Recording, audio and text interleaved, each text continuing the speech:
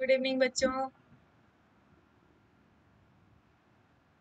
Sittu Kumar Yadav, Shiv Nandini, Durgesh Nandini good good evening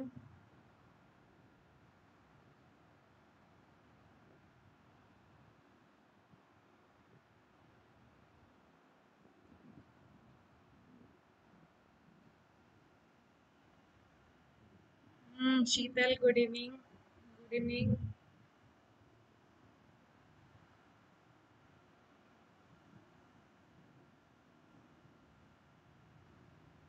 Shinder नमस्ते। Pushpa Yadav good evening Amit Kumar, Patel, Raja Sharma ma'am जय हिंद, जय भारत, जय हिंद, जय Bharat. Good afternoon good evening Ritesh. थॉम्बर लॉन्गशोन good evening very good Shivam Shivam good evening Raghav good evening Mayank, Danveer good evening Joy बिडन ओफो, भैया UPSC की class में काहे आ गए? हैं? कोचिंग क्लास क्यों कर रहे हो? जय विडन गुड इवनिंग राहुल जय Hind, Amar. Nandini Yadav good evening Tarun Kumar, Prajavanshi good evening Ravishankar, Nisha Dhiman, Shahid, Mohit, Mahira online study मैं बिल्कुल ठीक हूँ, बच्चे। Neetu Bhati, Paras Jindal, Afsar Ali hello Mohammed Younis good evening सभी को good evening Ramanuj Dubey, नमस्ते, Mohit Singh. Ma'am, आपसे कुछ बोलना था? हाँ मोहित, आप अभी तो शुरुआत कर रहे हैं, अभी हमारे पास समय है, आप बोल सकते हैं. जल्दी से करिए, क्योंकि व्यूअर्स जो हैं, वो 50 से ऊपर जाएँगे तो मैं क्लास शुरू कर दूँगी और नियरली 50 हो गए हैं. अनामिका गुड इवनिंग अक्षय, जय हिंद. देव कुमार नमस्ते. Tushar Ghosh good evening good evening Mohit Poonam Parihar good evening Mohit Sharma good evening Ramanuj good evening नमस्ते सभी को आ, तो आज की क्लास जो है मुजाहिद गुड इवनिंग आज की क्लास अब मैं जल्दी शुरू करती हूँ क्योंकि आज जो है बहुत इम्पोर्टेंट क्लास है और मोस्ट प्रोबेबली इस से, इस सेशन की ये लास्ट क्लास होगी। इसके अलावा जो बाकी टॉपिक और बचे हैं, वो फिर कभी शेड्यूल होंगे तो मैं वो क्लास लूँगी। चरण स्पर्श खुश रहो भाई, गरीब coach every updates very good क्या नाम रखा है भाई? बहुत खुश रहो। मुजाहिद गुड इवनिंग हर्षा गुप्ता, नमस्ते। Shittu good evening Rinku, Ridip good evening Juhi Bhardwaj. सभी सभी लोग बहुत खुश रहो। गरीब कोच एवरी अपडेट्स बहुत खुश रहो। मोहित मैम, ये कमेंट क्लास के बाद, ज़रूर मैं कमेंट क्लास के बाद लिया करूँ। एक्चुअली मैं वेट करती हूँ जब तक संख्या ना बढ़ जाए, तब तक क्लास शुरू करने का कोई मतलब नहीं होता। जैसे टीचर जब क्लास में पहुँच जाता है ना तो वो वेट करता है कि भाई जो जल्दी जल्दी भागते हुए आ रहे हैं, वो जल्दी से आ जाए। तो फिर क्लास शुरू करें, जिससे ये एक टीचर की ड्यूटी भी होती है, मुझे लगता है कि वो ये डांटने के बजाय कि भाई क्लास में लेट क्यों थे, दो मिनट अगर वेट कर ले कि ठीक है, बच्चे जल्दी से जुड़ जाएँ, तब तक अगर हम नमस्ते, गुड इवनिंग कर लेते हैं तो उसमें कोई हर्ज नहीं है है ना? तो थोड़ा सा धैर्य रखो बेटा। अभी सिक्सटी सेवन बच्चे ही जुड़े हैं और बाद में जो जुड़ते हैं, उनका थोड़ा लॉस होता है, उन्हें पीछे से फिर पलट करके देखना पड़ता है, ठीक है? मैम लास्ट में जुड़ फास्ट ने स्लाइड मूव किया करो। मोहित एक्चुअली क्लास ख़त्म करने वाली जब होती है ना तो अभी अभी तो चूँकि लास्ट सेशन में हो रहा है सेकेंड सेशन में जब फ़र्स्ट सेशन में होता है तो ये लगता है ना कि जो अगला टीचर क्लास में आने वाला है, वो वेट कर रहा है। तो इस वजह से थोड़ा जल्दी जल्दी लगता है और इकोनॉमी के टॉपिक्स इतने ज़्यादा हैं इकोनॉमिक्स के टॉपिक इतने ज़्यादा हैं कि मुझे लगता है कि फिर भी कितने टॉपिक्स अभी रह गए हैं जिनको लगता है कि हाँ इसे भी करा देते तो अच्छा था, इसे भी करा देते तो अच्छा था, है ना? इसीलिए थोड़ा सा मैं मुजाहिद बिल्कुल ठीक हूँ। इसीलिए लास्ट में ज़्यादा फास्ट ना पढ़ाया करो, ठीक है? बच्चे एक्चुअली लास्ट में ज़्यादा तेज़ पढ़ाने का रीज़न सिर्फ़ यही है कि लगता है कि आज कम से कम ये टॉपिक ख़त्म हो जाए, क्योंकि इतना ज़्यादा कोर्स है है ना? एनवायरनमेंट एथिक्स की क्लास कब होगी मुझे आइडिया नहीं है बेटा। कि एनवायरनमेंट और एथिक्स एनवायरनमेंट एथिक्स जो है वो कब पढ़ाया जाएगा और जोग्राफी और पॉलिटी की क्लास भी शायद अब इसके बाद चलेगी। तो चूँकि हम लोगों ने बहुत सारी क्लासेस ले ली हैं अभी भी लगता है कि छोटे छोटे बहुत सारे टॉपिक्स ऐसे हैं जो रह गए हैं। ठीक है। ठीक है, मोहित, मैं कोशिश करूँगी कि मैं जल्दी जल्दी ना भगाऊं, बात सही है आपकी। ऐसा लगता है, लेकिन एक जो मोटिव बस यही रहता है कि जल्दी से क्लास ख़त्म हो कि कोर्स जो है वो कंप्लीट हो जाए, सारी स्लाइड्स कंप्लीट हो जाए, है ना? इसीलिए केवल जल्दी करती हूँ। तो बच्चों सिक्सटी नाइन करीब बच्चे जुड़ चुके हैं और टाइम भी काफ़ी हो गया है।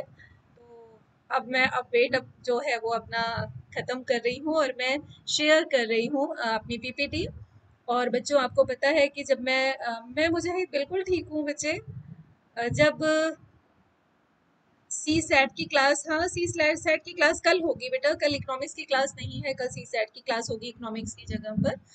तो अब मैं शुरू कर रही हूँ आज की अपनी क्लास बहुत ही इंपॉर्टेंट टॉपिक है। बच्चों आज मैं दो टॉपिक कवर करने की कोशिश करूँगी। अगर जल्दी जल्दी जैसा आप कह रहे हो कि जल्दी जल्दी मत पढ़ाया करो, है ना? लेकिन एक एक टॉपिक में इतनी सारी चीज़ें होती हैं, क्योंकि इकोनॉमिक्स ऐसा सब्जेक्ट है कि आप पहले कॉन्सेप्ट पढ़ाओ और कॉन्सेप्ट के साथ में जो डायनामिक चेंजेस होते रहते हैं अपडेट करना वो भी ज़रूरी होता है।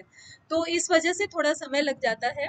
मैं आज कोशिश करूँगी कि इकोनॉमिक्स में इकोनॉमिक्स में जो पावर्टी का पोर्शन है वो मैं जल्दी से ख़त्म करूँ और उसके बाद फिर इकोनॉमिक सर्वे की जो बहुत पॉइंटेड चीज़ें हैं वो जो मेजर जो बहुत समरी आप कह लो, वो मैं कोशिश करूँगी कि वो पॉइंट्स आपके सामने रखूँ और बाई चांस अगर मैं वो नहीं ले पाई तो आप लोग ये बात ध्यान रखिएगा कि प्री के लिए इकोनॉमिक सर्वे का जो जो समरी वाला पार्ट है, वो आप ज़रूर पढ़ करके जाइएगा और बिल्कुल डेड श्योर हूँ मैं कि इकोनॉमिक सर्वे के जो पॉइंट्स हैं, उनमें से एक दो क्वेश्चन ज़रूर से ज़रूर आएँगे, ठीक है? तो बच्चों ध्यान रखिएगा तो मैं शेयर कर रही हूँ अपना। पीडीएफ मैं प्रोवाइड कराऊँगी, लेकिन पीडीएफ को एक्चुअली डिटेल में बनाने में थोड़ा समय लगता है। अभी तो मैंने पीडीएफ कभी बनाया नहीं था। मैंने तो ये सोचा था कि पीपीटी अपनी जो पॉइंटेड चीज़ें हैं, उनको मैं डिस्क्राइब कर दूँगी। उससे आप लोग समझ जाओगे। लेकिन पीपीटी की अगर पीडीएफ की ज़रूरत आपको पड़ रही है तो पीडीएफ भी मैं बना के अपने हर वीडियो के उसमें डाल दूँगी, जहाँ से आप डाउनलोड कर सकते हैं। ठीक है? तो अब मैं शेयर कर रही हूँ अपना ये क्लास अपनी प्रॉपरली अब आपकी शुरू करने जा रही हूँ। तो बच्चों आज का जो टॉपिक है सबसे पहला टॉपिक जो है वो है पावर्टी निर्धनता। लगभग हर साल मैंने देखा है कि एक दो क्वेश्चन पावर्टी से रिलेटेड ज़रूर आते हैं। इसके कॉन्सेप्ट से रिलेटेड भी आते हैं और डेटा से रिलेटेड भी आते हैं। जो इंडेक्सेस डिफरेंट पावर्टी के बनाए जाते हैं उससे रिलेटेड भी क्वेश्चन आते हैं। लेकिन शायद ही कोई ऐसा आ, साल है मैंने देखा है जो यूपीएससी के पेपर मैंने देखे हैं उसमें मैंने नहीं देखा है कि ठीक है रामानुज, मैं कोशिश कर रही हूँ कि मैं पीडीएफ बनाऊँ जिससे आप लोगों को थोड़ा फ़ायदा हो, ठीक है? तो पावर्टी से रिलेटेड क्वेश्चन, चूँकि बहुत सारे आते हैं तो इसके बाद इसमें इस पर पूरा फोकस आप ज़रूर रखिएगा। तो आज हम देखते हैं कि क्या क्या चीज़ें इसमें है, और इस पूरे लेक्चर के बाद फिर आपको समझ में आ जाएगा पावर्टी का जो कॉन्सेप्ट है प्लस पावर्टी के जो एक दो क्वेश्चंस लगभग हर साल इस पर भी आते हैं, क्योंकि पावर्टी को कैसे मेजर किया जाए, ये बहुत डिबेटेबल इशू है। इस पर बहुत सारी डिबेट होती है कि क्या आधार बनाया जाए, किस आधार पर पावर्टी मापी जाए। क्योंकि जब ये देखा गया कि जो जितने तरह के लोग हैं, जो एक्सपर्ट्स हैं, जब वो अलग अलग तरह से पावर्टी को मेजर करते हैं तो जो संख्या आती है, वो अलग अलग आती है। तो ऐसा डिबेटेबल इसलिए है क्योंकि किसी भी देश में निर्धन लोगों की संख्या का होना अपने आप में उस देश के लिए बहुत ही खराब बात होती है। लेकिन हमारे देश में इतने सारे अनुमानों के बाद, इतने सारे प्रयासों के बाद अभी भी जो हमारा देश है उसमें एक चौथाई जनता अभी भी पावर्टी लाइन के नीचे रहती है। तो आज हम समझेंगे कि ये क्या है आज हम समझेंगे कि ये पावर्टी लाइन क्या है पावर्टी लाइन के साथ साथ ये भी देखेंगे कि बेस क्या है और किन आधारों पर पावर्टी मापी जाती है। बहुत सारे टर्म यूज़ किए जाते हैं जिनसे रिलेटेड क्वेश्चन आते हैं। तो आपको वो टर्म्स भी पता होने चाहिए। तो ये सारी चीज़ें इंक्लूड करते हुए आज हम पावर्टी शुरू कर रहे हैं। तो जनरली पावर्टी जब हम पावर्टी की बात करते हैं तो हम कहते हैं कि निर्धनता एक ऐसी सिचुएशन है, बहुत सारी डेफिनेशन है बच्चों। ये जो डेफिनेशन यहाँ पर आप देख रहे हो, ये डेफिनेशन योजना आयोग जब था जब था तो उसने ये स्लाइड शो नहीं हो रही है, संतोष? अच्छा। अभी कुछ भी नहीं आ रहा है मूव नहीं हो रही है?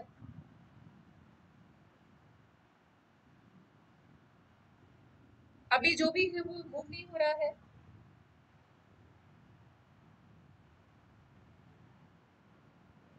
हाँ।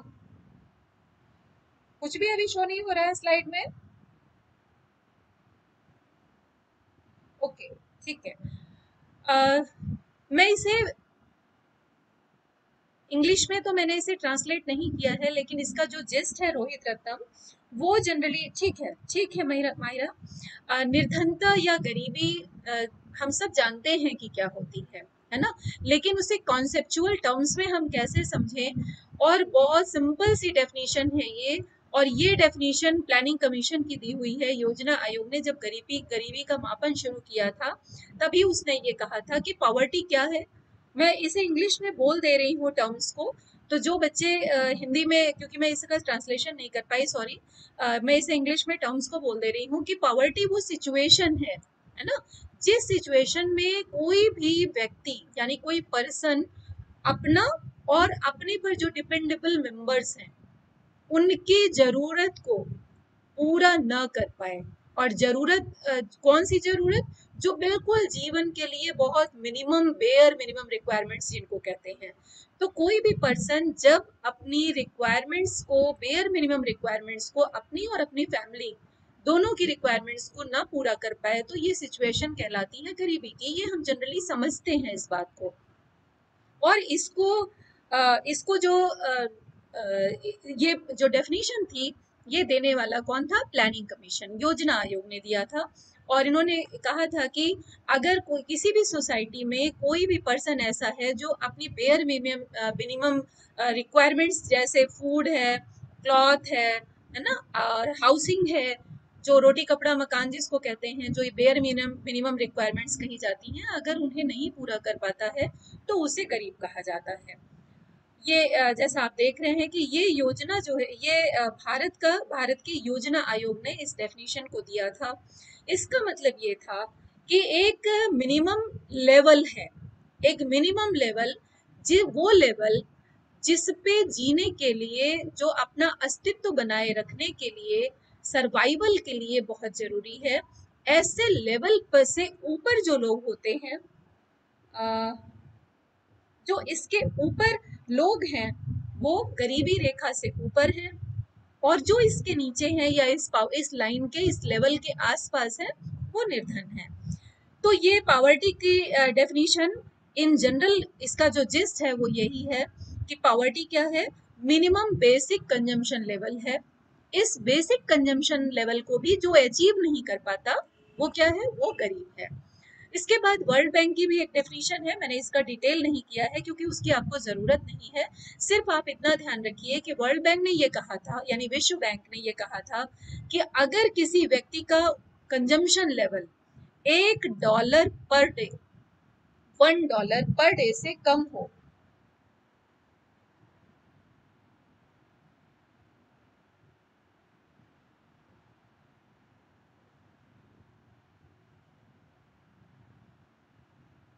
अगर वन डॉलर पर डे से कम होता है तो ये सिचुएशन उस तो ये कहलाएगा कि वो निर्धन है। ठीक है? फिर पावर्टी वर्ल्ड बैंक के अनुसार जो इन्होंने डेफिनेशन दी थी, इन्होंने साथ में एक लाइन और जोड़ी थी कि एक डॉलर से कम जिसकी इनकम है, वो तो निर्धन है, लेकिन साथ में उसके और भी आयाम जुड़े हुए हैं। और कौन से आयाम हैं? ये ध्यान रखिएगा। एक तो क्या है? वेलफेयर है ना वेलबींग अच्छी तरह से रहना। और कम आय और गरिमा के साथ, यानी जो एक डिग्निफाइड लाइफ है, अगर डिग्निफाइड लाइफ कोई व्यक्ति नहीं जी रहा है तो तो भी वो निर्धनता की श्रेणी में आएगा।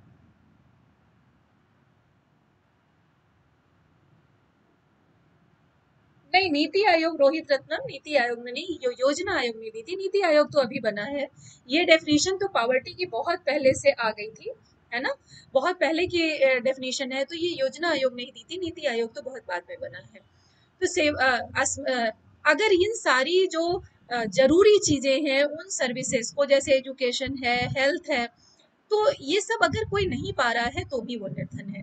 तो यहीं से इस डेफिनेशन के बेस पर ध्यान रखिएगा। क्वेश्चन यहाँ से क्या बनता है? क्वेश्चन ये बनता है कि जो बहुआयामी निर्धनता है मल्टी डायमेंशनल पॉवर्टी वो कहाँ से आई? तो याद रखिएगा, वो कहाँ से आई है? वर्ल्ड बैंक की डेफिनेशन से। विश्व बैंक ने कहा कि जो निर्धनता है, वो बहुआयामी है है ना?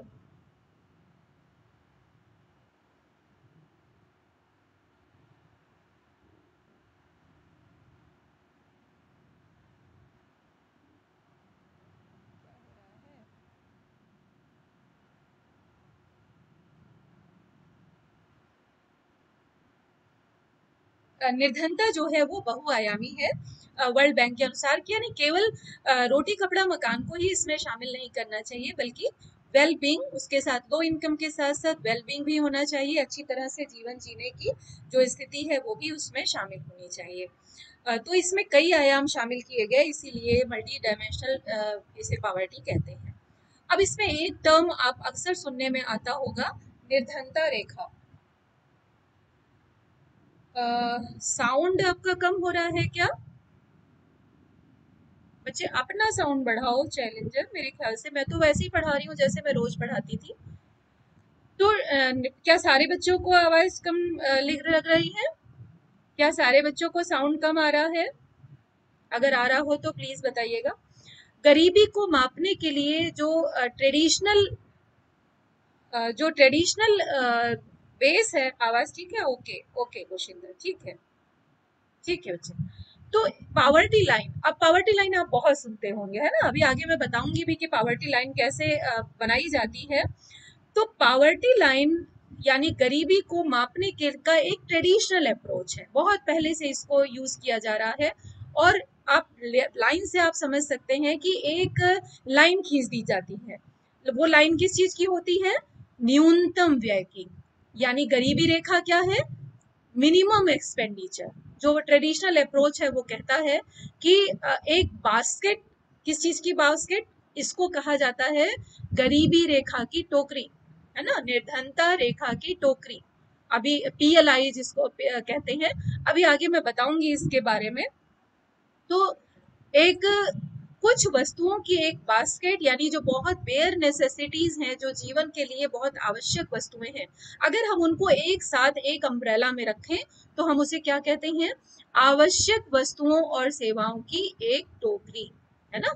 इसे कहा जाता है। और इस टोकरी को खरीदने में जितनी मिनिमम खर्चा होना चाहिए, वो खर्चा कहलाता है न्यूनतम व्यय जो वो कहलाता है गरीबी रेखा या पावर्टी लाइन ठीक है?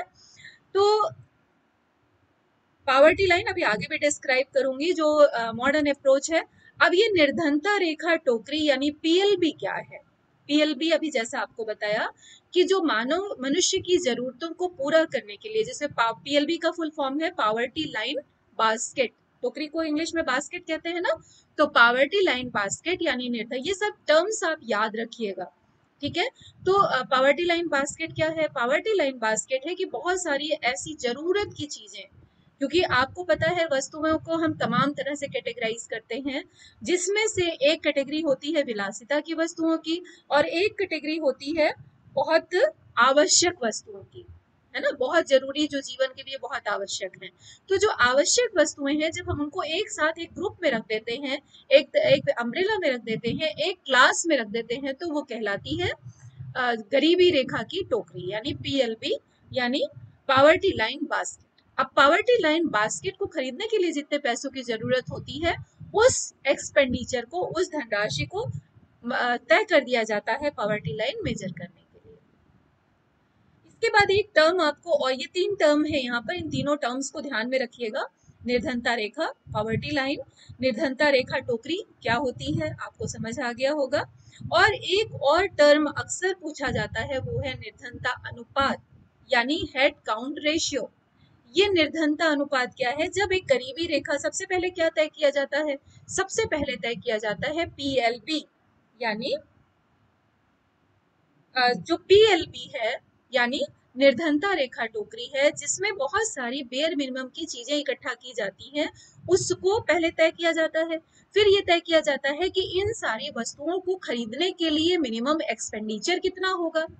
फिर इस मिनिमम एक्सपेंडिचर को कहा जाता है निर्धनता रेखा की लाइन या निर्धनता रेखा का लेवल अब इस लेवल से नीचे जितने लोग हैं है ना, इस इस लेवल से, इस निर्धनता रेखा को, यानी इसे भी खर्च करने के लिए जिसके पास इनकम नहीं है, उसको कहा जाता है निर्धनता अनुपात या हेड काउंट रेशियो जितनी आबादी टोटल आबादी की जितनी आबादी, यानी अगर अपने देश में 135 करोड़ जनता है तो उसकी कितनी आबादी उससे नीचे है?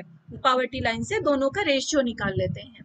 और जो ये दोनों का रेशियो आता है, उसी को कहा जाता है head count ratio head count ratio का मतलब यहाँ पर ध्यान रखिएगा, ये नहीं है कि यहाँ बैठ के सिर गिने जाते हैं ना, सिर गिना करके अनुपात नहीं निकाला जाता, बल्कि अगर आपसे एक बार, एक दो बार कई सारे कॉम्पिटिटिव एग्ज़ाम में इसका क्वेश्चन पूछा गया है कि what is the head count ratio और उसके बाद उसके आंसर्स दिए हुए हैं तो ध्यान रखिएगा कि पॉवर्टी लाइन से नीचे रहने वाली जो पॉपुलेशन है उसका टोटल पॉपुलेशन से जो रेशियो निकाला जाता है, उसी को हेड काउंट रेशियो या गरीबी अनुपात या निर्धनता अनुपात कहते हैं।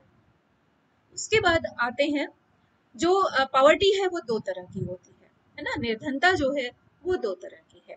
पहली यहाँ पर हम देख रहे हैं एब्सोल्यूट पावर्टी या निरपेक्ष निर्धनता।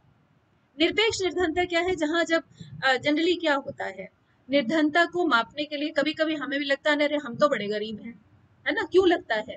वो तब लगता है जब हम अपने से ज़्यादा अमीर को किसी को देखते हैं। अगर हमारे पास दो हज़ार रुपए का मोबाइल है और हम किसी को एक लाख रुपए का मोबाइल चलाते हुए देखते हैं तो हमें क्या लगता है? अरे, हम तो बड़े गरीब हैं, हमारे पास ये चीज़ नहीं है। ये क्या है? ये रिलेटिव है, यानी तुलना करना। तो एक निर्धनता वो है जो तुलना करके निकाली जाती है। और एक निर्धनता वो है जिसमें तुलना नहीं की जाती है। यानी एब्सोल्यूट होती है, किसी से उसके कंपैरिजन नहीं किया जाता है है ना? तो ये कैसे निकाली जाती है? ये निकाली जाती है उपभोग के स्तर पर। उपभोग जैसे ग्रामीण क्षेत्र है वहाँ पर तय कर दिया गया कि इतने कैलोरी, जैसे बास्केट की बात की ना तो एक बास्केट बना दी गई कि भाई ये ये पौष्टिक चीज़ें हैं, ज़रूरी है स्वास्थ्य के लिए या एक बेयर मिनिमम अपने शरीर को बनाए रखने के लिए, अपने अस्तित्व को बनाए रखने के लिए। तो उस बास्केट को खरीदने, उस बास्केट में कितनी कैलोरी है, वो कैलोरी तय कर दी गई। 2400 कैलोरी अगर है पर डे तो कहाँ के लिए? ग्रामीण क्षेत्रों के लिए। और शहरी क्षेत्रों के लिए 2100 कैलोरी। बच्चों, ये भी बड़े ध्यान देने की बात है, दोनों कैलोरी अलग अलग क्यों है? क्योंकि ये माना जाता है कि जो ग्रामीण क्षेत्र की जनता है, वो ज़्यादा मेहनत करती है, जो फ़िज़िकल लेबर है, वो ज़्यादा करती है। तो फ़िज़िकल लेबर चूँकि वो ज़्यादा करती है, शारीरिक श्रम ज़्यादा करती है, इसीलिए उसे ज़्यादा कैलोरी की ज़रूरत होती है कंपैरेटिवली शहर वालों के। तो निरपेक्ष निर्धनता क्या है? जहाँ पर कोई ऐसी तुलना नहीं की जा रही है, बल्कि एक लेवल सेट कर दिया गया है। एक लाइन बना दी गई, भाई 2400 कैलोरी ग्रामीण क्षेत्र में, अब 2400 कैलोरी खरीदने वाली की क्षमता अगर है तो वो एब पॉवर्टी लाइन जिसको हम एपीएल कहते हैं, याद होगा आपको। और अगर इसको खरीदने की क्षमता नहीं है तो बिलो पॉवर्टी लाइन जिसको आप बीपीएल कहते हो, कहते हैं ना बीपीएल कार्ड बनवा लो। बीपीएल कार्ड क्या है? ऐसे लोगों का कार्ड बनता है, जो पॉवर्टी लाइन से नीचे हैं। अब ये पावर्टी लाइन कैसे तय होती है? मेरे ख्याल से आपको समझ में आ गया होगा कि उस बास्केट में जो 2400 कैलोरी है, उसको भी खरीद पाने की उनकी क्षमता नहीं होती। ऐसा उनकी, ऐसे पता चल जाता है या उनकी वजह से पता चल जाता है, ठीक है? तो 2100 कैलोरी शहर में और 2400 कैलोरी गाँव में। इसके बाद दूसरी, जैसा अभी आपको बताया ना कि दूसरी पावर्टी क्या होती है? रिलेटिव पावर्टी जहाँ तुलना करते हैं तो वहाँ तुलना करने पर यह लगता है कि कौन निर्धन है? और कौन धनी है? यानी अमीर और गरीब की जो आय है, उसकी तुलना की जाती है। तो तुलनात्मक रूप से कोई भी निर्धन हो सकता है और कोई भी धनी हो सकता है आय के आधार पर। यहाँ पर कोई ऐसा पैमाना नहीं सेट है, बल्कि तुलना की जाती है। तो एक व्यक्ति कैलोरीज है क्या? कैलोरीज, रोहित रत्नम न्यूट्रिशन, जब हम कोई चीज़ खाते हैं ना, जब हम खाना खाते हैं तो उससे क्या होता है? उससे जो एनर्जी मिलती है, उसको कैलोरी में मेजर करते हैं, या जो न्यूट्रिएंट पावर मिलती है, उसको कहते हैं उसको कैलोरी में मेजर किया जाता है। और ये हर खाने की चीज़ से अलग अलग मिलती है। जो ऊर्जा होती है, वो हर खाने की चीज़ से अलग अलग मिलती है। जैसे आप एक सेब खाएँ तो सौ कैलोरी मिली, आपने एक रोटी खाई तो दस कैलोरी मिली, है ना? तो ये हर जो भी चीज़ हम इंटेक करते हैं, खाते हैं, उसको, उससे मिलने वाली जो एनर्जी होती है उसको कैलोरी में मेजर किया जाता है तो बेसिकली ये ऊर्जा है। यानी इतना जब आप खाओगे तो इसके बदले में इतनी ऊर्जा आपको मिलेगी। अब इस एनर्जी को इतनी एनर्जी चौबीस सौ किलो कैलोरी बहुत ज़रूरी होती है आपको इनटेक करने के लिए, आपको अपने अस्तित्व को अच्छे से बनाए रखने के लिए, जिससे आप yes unit of energy challenger बिल्कुल सही बात है है ना? तो जो ऊर्जा है, जो उसको बनाए रखने के लिए बहुत ज़रूरी है। तो रिलेटिव पॉवर्टी क्या है? गरीब और अमीर के आय के स्तर की तुलना की जाती है। उसके बाद अगला जो है वो पावर्टी लाइन को यहाँ पर थोड़ा आगे डिस्क्राइब किया है। यानी पावर्टी लाइन की डेफिनेशन क्या है? पावर्टी लाइन आय का वो लेवल है जहाँ पर इतनी आमदनी कम होती है, आय इतनी कम होती है कि कोई भी पर्सन कोई भी व्यक्ति अपने और अपने परिवार की जो बेसिक जरूरतें हैं, उनको पूरा कर को खरीदने में सक्षम नहीं होता। तो जैसे एक एक लेवल तय कर दिया जाता है, एक लाइन खींच दी जाती है, उसी को किसके बेसिस पे?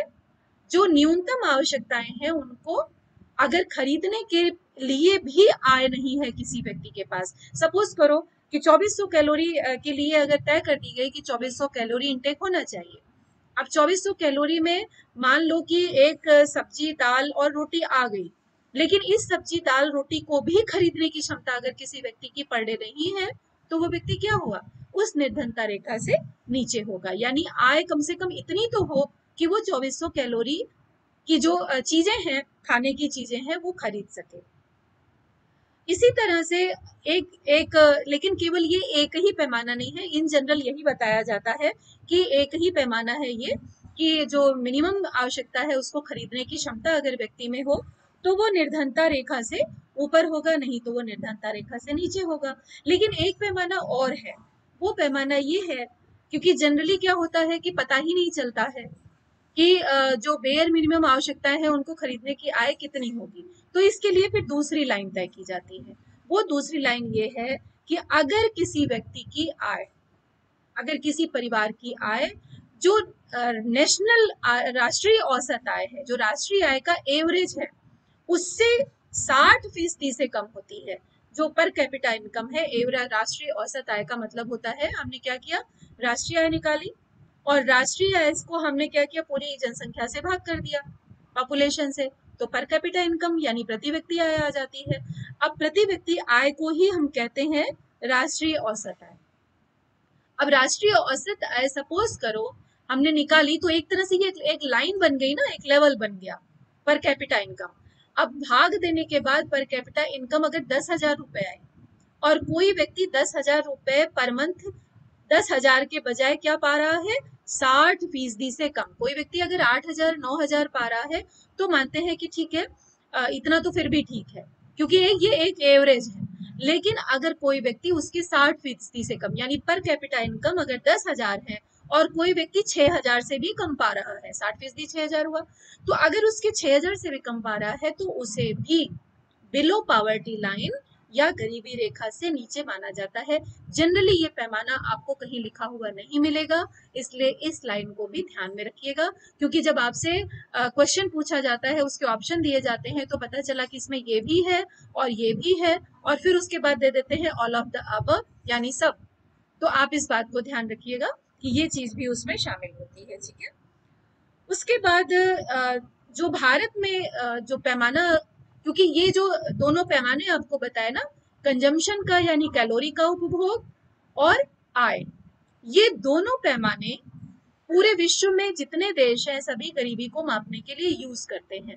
तो प्रश्न ये उठता है कि हमारे देश में क्या यूज़ होता है?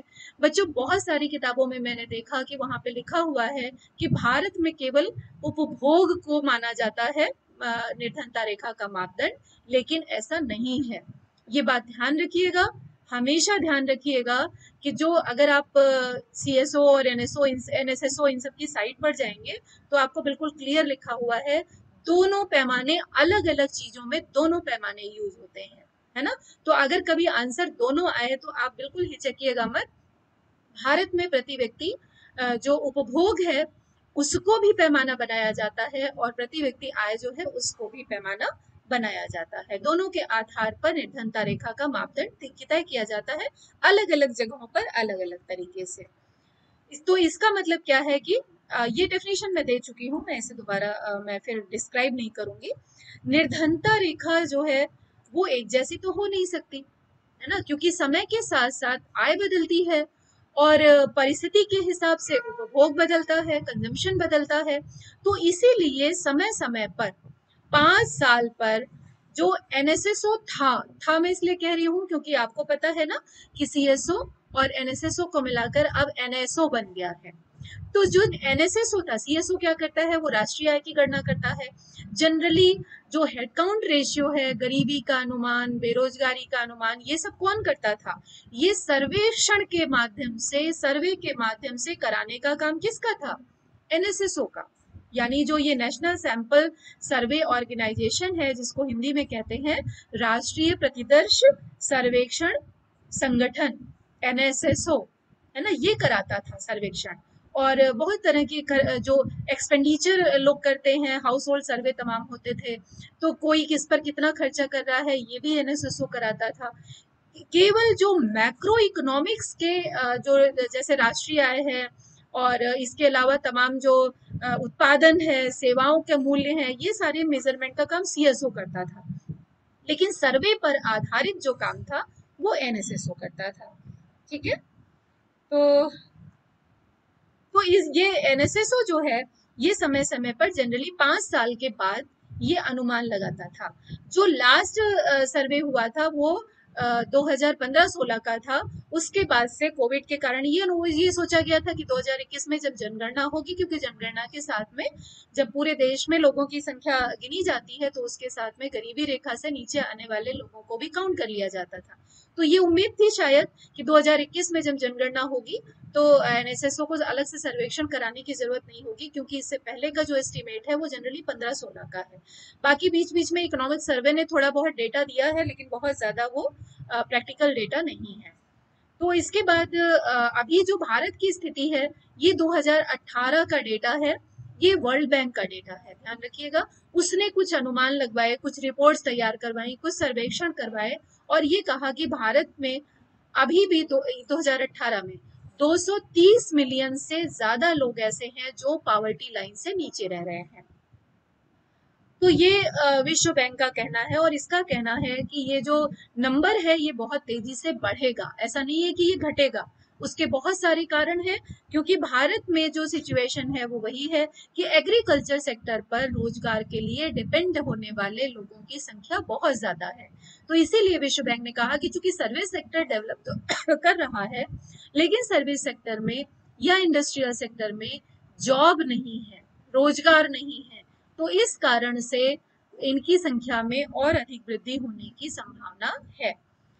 भारत में ऐसा कहा जाता है कि जो एशिया में सबसे ज़्यादा संख्या है, वो भारत में रहने वाले बीपीएल से नीचे रहने वाले लोगों की संख्या बीपीएल के नीचे जो रहते हैं वो लोग, वो भारत में सबसे ज़्यादा है। यानी कुछ एग्जाम्पल्स के साथ में बहुत सारी स्टडीज़ हुई हैं जिसमें लोग कहते हैं कि अमेरिका की जितनी आबादी है, उससे ज़्यादा भारत में निर्धन लोग रहते हैं बिलो पावर्टी लाइन बीपीएल का मतलब क्या हुआ? बिलो पावर्टी लाइन यानी निर्धनता रेखा से नीचे रहने वाले लोगों की संख्या अमेरिका की जनसंख्या के बराबर है है ना? उससे भी ज़्यादा है बल्कि तो ये आ, बहुत मोहित आवाज़ नहीं आ रही है। हम्म, आज क्यों नहीं आ रही है?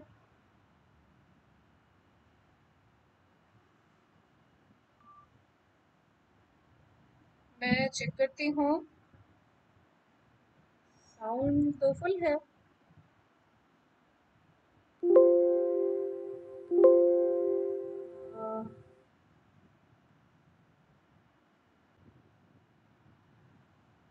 यहाँ से शिफ्ट करती हूँ, थोड़ा सा ब्रेक होगा। मुझे लग रहा है इसी वजह से इंटरनेट की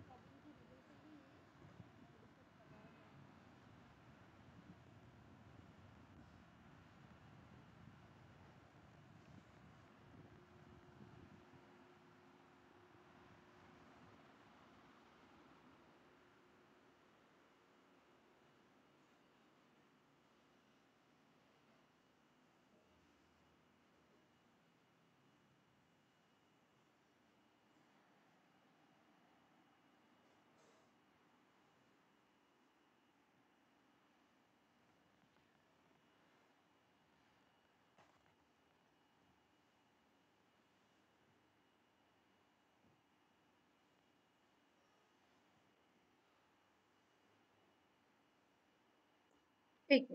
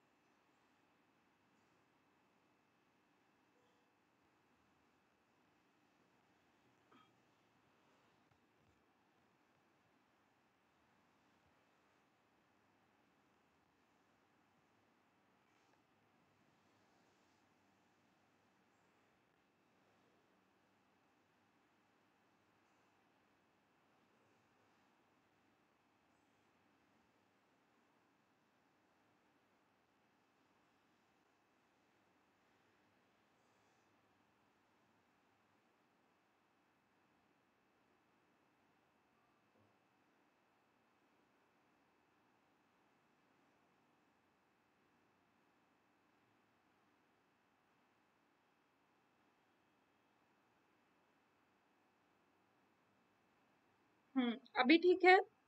अभी ठीक है बच्चे? अभी आवाज़ आ रही है? ठीक है। ठीक है ठीक है। नेटवर्क इशू रहा होगा। शायद कनेक्टिविटी में जहाँ पर से, जहाँ से मैं क्लास ले रही थी, शायद वहाँ पर आवाज़ की प्रॉब्लम थी।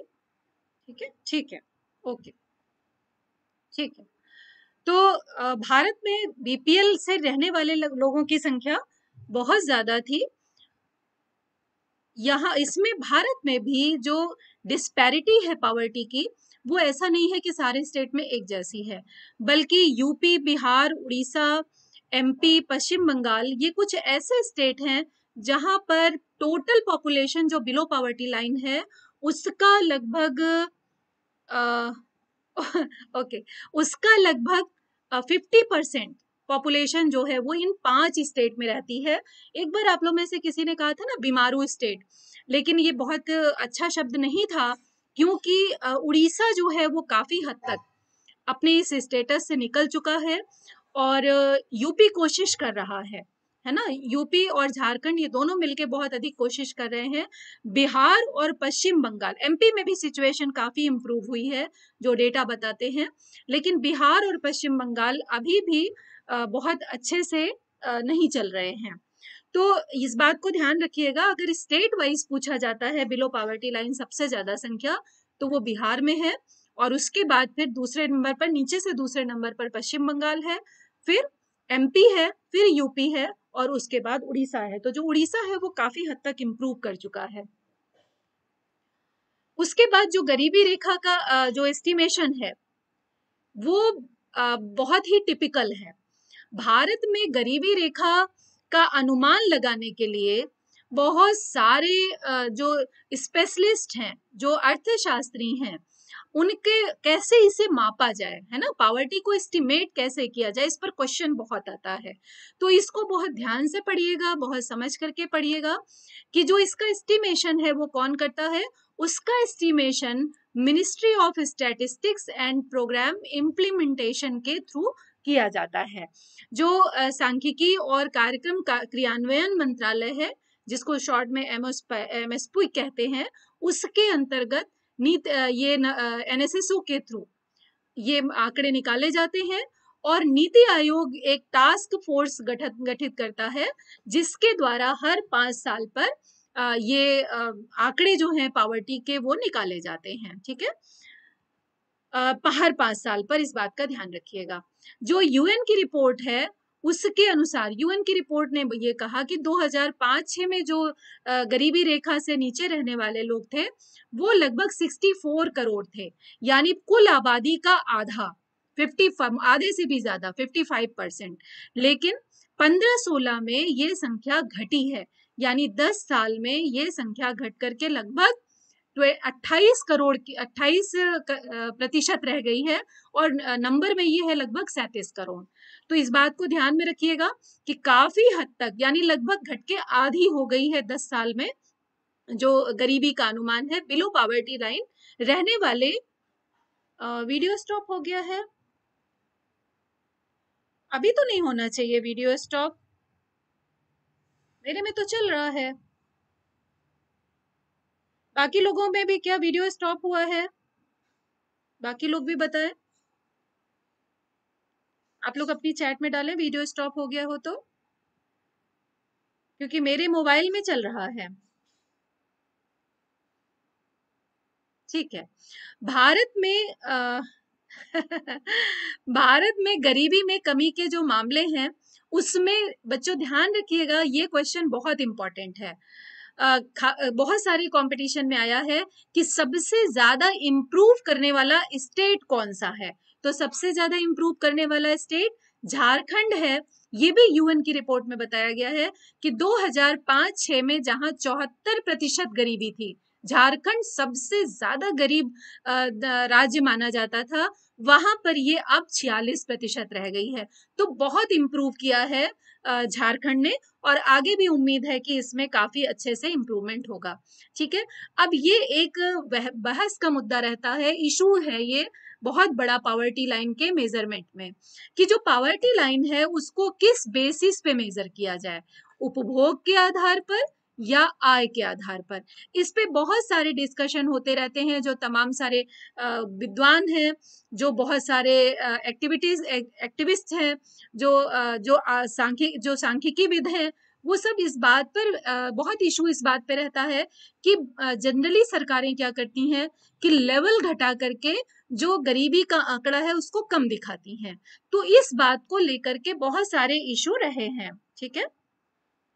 तो इसमें इस बात को ध्यान में रखिएगा कि भारत में इसीलिए दोनों को आधार बनाया गया है। उपभोग के आधार पर अलग गणना होती है और आय के आधार पर अलग गणना होती है। उपभोग की गणना कैसे? कंजम्पशन? उपभोग यानी क्या हुआ? कंजम्पशन? कंजम्पशन का कैलकुलेशन किस किसके बेसिस पे किया जाता है? उस उस बेसिस पे किया जाता है कि वो मनी यानी वो इनकम जो एक परिवार अपने आवश्यक वस्तुओं के कंजम्पशन पर खर्च करता है, क्योंकि कैलोरी को मेजर करने का और कोई तरीका नहीं है। उस कैलोरी को, अपनी जनरल चीज़ों को, अपनी बहुत बेसिक रिक्वायरमेंट्स को खरीदने के लिए जो जो भी व्यक्ति खर्च करता है, उसको क्या, उसको उस उपभोग व्यय को। ध्यान रखिएगा, शब्द है यहाँ पर कंजम्पशन एक्सपेंडिचर और जो डेटा कैलकुलेट होता है वो भी कंजम्पशन एक्सपेंडिचर पर ही होता है। तो पावर्टी लाइन क्या है? 2400 अगर फॉर एग्ज़ाम्पल 2400 कैलोरी इनटेक करने के लिए जितनी इनकम की ज़रूरत है, वो एक लेवल तय हो गया निर्धनता रेखा का। उसको लोग क्रैक कर पा रहे हैं कि नहीं कर पा रहे हैं, इसके लिए उनका एक्सपेंडिचर उपभोग पर किया जाने वाला जो व्यय है, वो कैलकुलेट कर लिया जाता है, उसका सर्वे के थ्रू उसे ले लिया जाता है। और उसके बाद फिर ये पता लगाया जाता है कि ये व्यक्ति बिलो पॉवर्टी लाइन है या एब पॉवर्टी लाइन है। ठीक है? जो गरीबी, जो पावर्टी एस्टिमेशन है, उसकी ज़रूरत क्यों पड़ती है? कभी कभी ये भी प्रश्न पूछा जाता है, खासतौर से इंटरव्यू वगैरह में, भाई क्या ज़रूरत है? सरकार हर पाँच साल इतनी मेहनत करती है और चूँकि उसकी बदनामी भी होती है कि इतने सारे निर्धन है इस देश में तो क्यों ऐसा होता है कि फिर भी सरकार जो है वो पावर्टी एस्टिमेशन करती है? तो इसके लिए जो सबसे इम्पोर्टेंट है, कारण वो ये है कि जो तमाम सारी वेलफेयर स्कीम्स चलती हैं उनका प्रभाव, उनका इम्पैक्ट पड़ रहा है। अगर कंजम्पशन एक्सपेंडिचर बढ़ रहा है तो इसका मतलब क्या है? अच्छा इम्पैक्ट पड़ रहा है है ना? तो विभिन्न जो तमाम तरह की गवर्नमेंट पॉलिसीज़ हैं पावर्टी को खत्म करने के लिए, निर्धनता को खत्म करने के लिए तमाम सारी कल्याणकारी योजनाएँ हैं, इन सब के जो सफलता है, वो इसी बात में है कि जो पावर्टी लेवल है, वो घटे। जो पावर, बिलो पावर्टी लाइन के नीचे रहने वाले लोगों की संख्या है वो घटे। तो इसीलिए बार बार ये पावर्टी मेज़रमेंट किया जाता है। और दूसरी बात की जो बचे हुए लोग हैं इस ये भी बहुत इंपॉर्टेंट है कि उनको पहचानना यानी बिलो पावर्टी लाइन लोग जनगणना की जाती है। और इसे करता कौन है इस बात को ध्यान रखिएगा। ग्रामीण विकास मंत्रालय। वैसे तो पूरे जो एस्टिमेशन है वो किस कौन करता है? वो करता है ministry of statistics and planning execution जो डिपार्टमेंट है वो करता है। लेकिन जो ग्रामीण विकास मंत्रालय है, वो जो स्टेट है अलग अलग स्टेट में बीपीएल की जनगणना करता है, अलग से करता है और उन जो पुअर फैमिलीज़ हैं, उनको पुअर हाउस होल्ड को, गरीब परिवारों को पहचानता है और फिर उनके लिए अलग से सहायता और अलग से योजनाएँ बनाई जाती हैं। जो प्लान है गरीबी उन्मूलन का पावर्टी एलिमिनेशन का, वो इसीलिए अगर इसी बेस पर बनाया जाता है कि निर्धनता रेखा के नीचे रहने वाले कितने लोग हैं। तो निर्धनता पर सेंट्रलाइज्ड करके पावर्टी सेंट्रिक जो एलिमिनेशन प्लान्स हैं, उनको बनाने के लिए भी पावर्टी एस्टिमेशन की ज़रूरत पड़ती है, निर्धनता को आंकने की ज़रूरत पड़ती है। और दूसरी जो सबसे इंपॉर्टेंट बात है, इन तीनों कारणों को याद रखिएगा। एक क्वेश्चन ये भी आया था एक बार, जिसमें ये तीनों कारण दिए हुए थे। संवैधानिक आवश्यकता भी है। संवैधानिक आवश्यकता क्यों है? क्योंकि ये संविधान में संविधान के आधार पर भी निर्धन कोई व्यक्ति नहीं होना चाहिए। असमानता बिल्कुल नहीं होनी चाहिए। समावेशन होना चाहिए। तो ये सारी जो कि संविधान प्रदत्त अधिकार है उन उसके आधार पर ये सरकारों की ज़िम्मेदारी है कि वो गरीबी का अनुमान लगाएँ और गरीबी रेखा से नीचे रहने वाले लोगों के लिए जो एक न्यायपूर्ण समाज है, उसकी स्थापना करने के लिए ऐसी कल्याणकारी योजनाएँ चलाएँ कि बिलो पॉवर्टी लाइन से नीचे रहने वाले लोग ऊपर आ सकें। तो डेटा कलेक्शन जो मेथड है, डेटा कलेक्शन मेथड, उस डेटा कलेक्शन मेथड में दो तीन टर्म्स बहुत इंपॉर्टेंट है। इनको ज़रूर ध्यान में रखिएगा, ठीक है? इसमें से एक है, जब डेटा कलेक्ट किया जाता है पावर्टी के लिए, इस पर भी क्वेश्चन पूछा गया है। डेटा जब कलेक्ट किया जाता है तो दो आधार हैं इसके। जिसमें से पहला आप यहाँ पर देख रहे हैं, समान संसाधन अवधि यू आर पी यानी जो गरीबी रेखा है वो 93 94 तक इसी आधार पर मेजर की जाती रही है।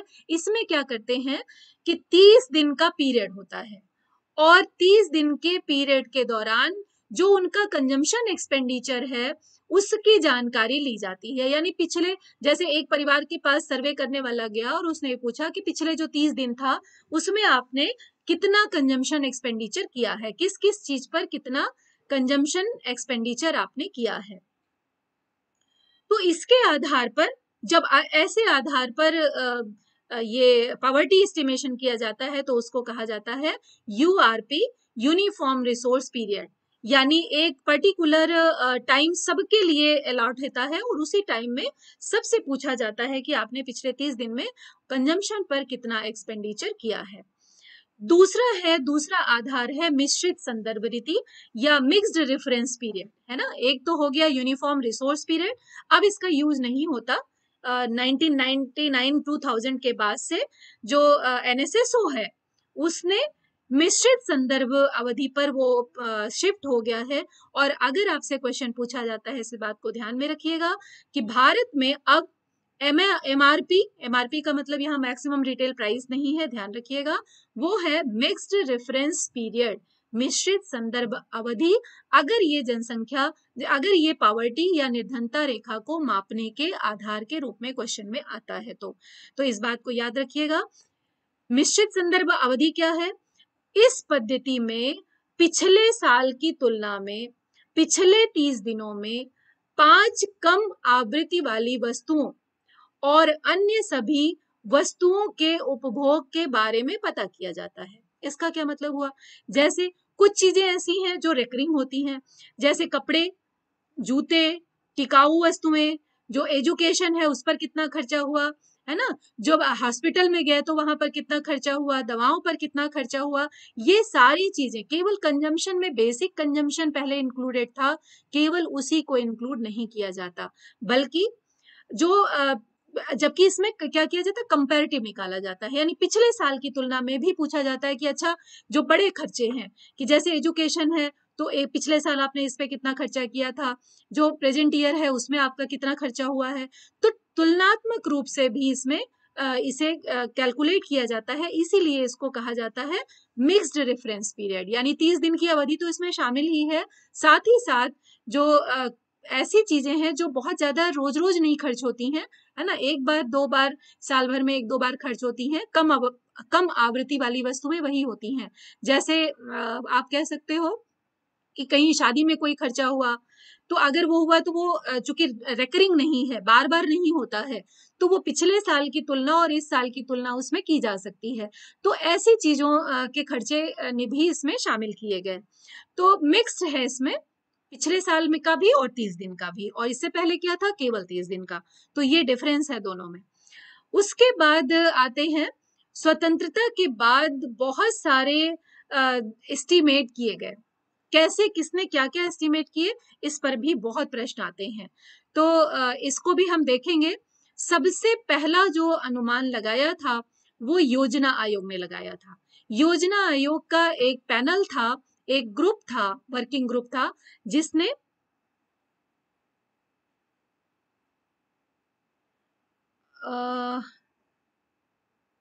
why family can't get the BPL card if a family बच्चे बीपीएल कार्ड बताया तो कि पावर्टी लाइन का एक लेवल तय है। आप गवर्नमेंट जॉब में हो गवर्नमेंट एम्प्लॉय हो, कोई भी एम्प्लॉय हो एम्प्लॉय हो, अगर वो 2400 कैलोरी या आय का जो सर्टेन एक लेवल है। सर्टेन लेवल अभी बताया ना? आय का लेवल क्या है?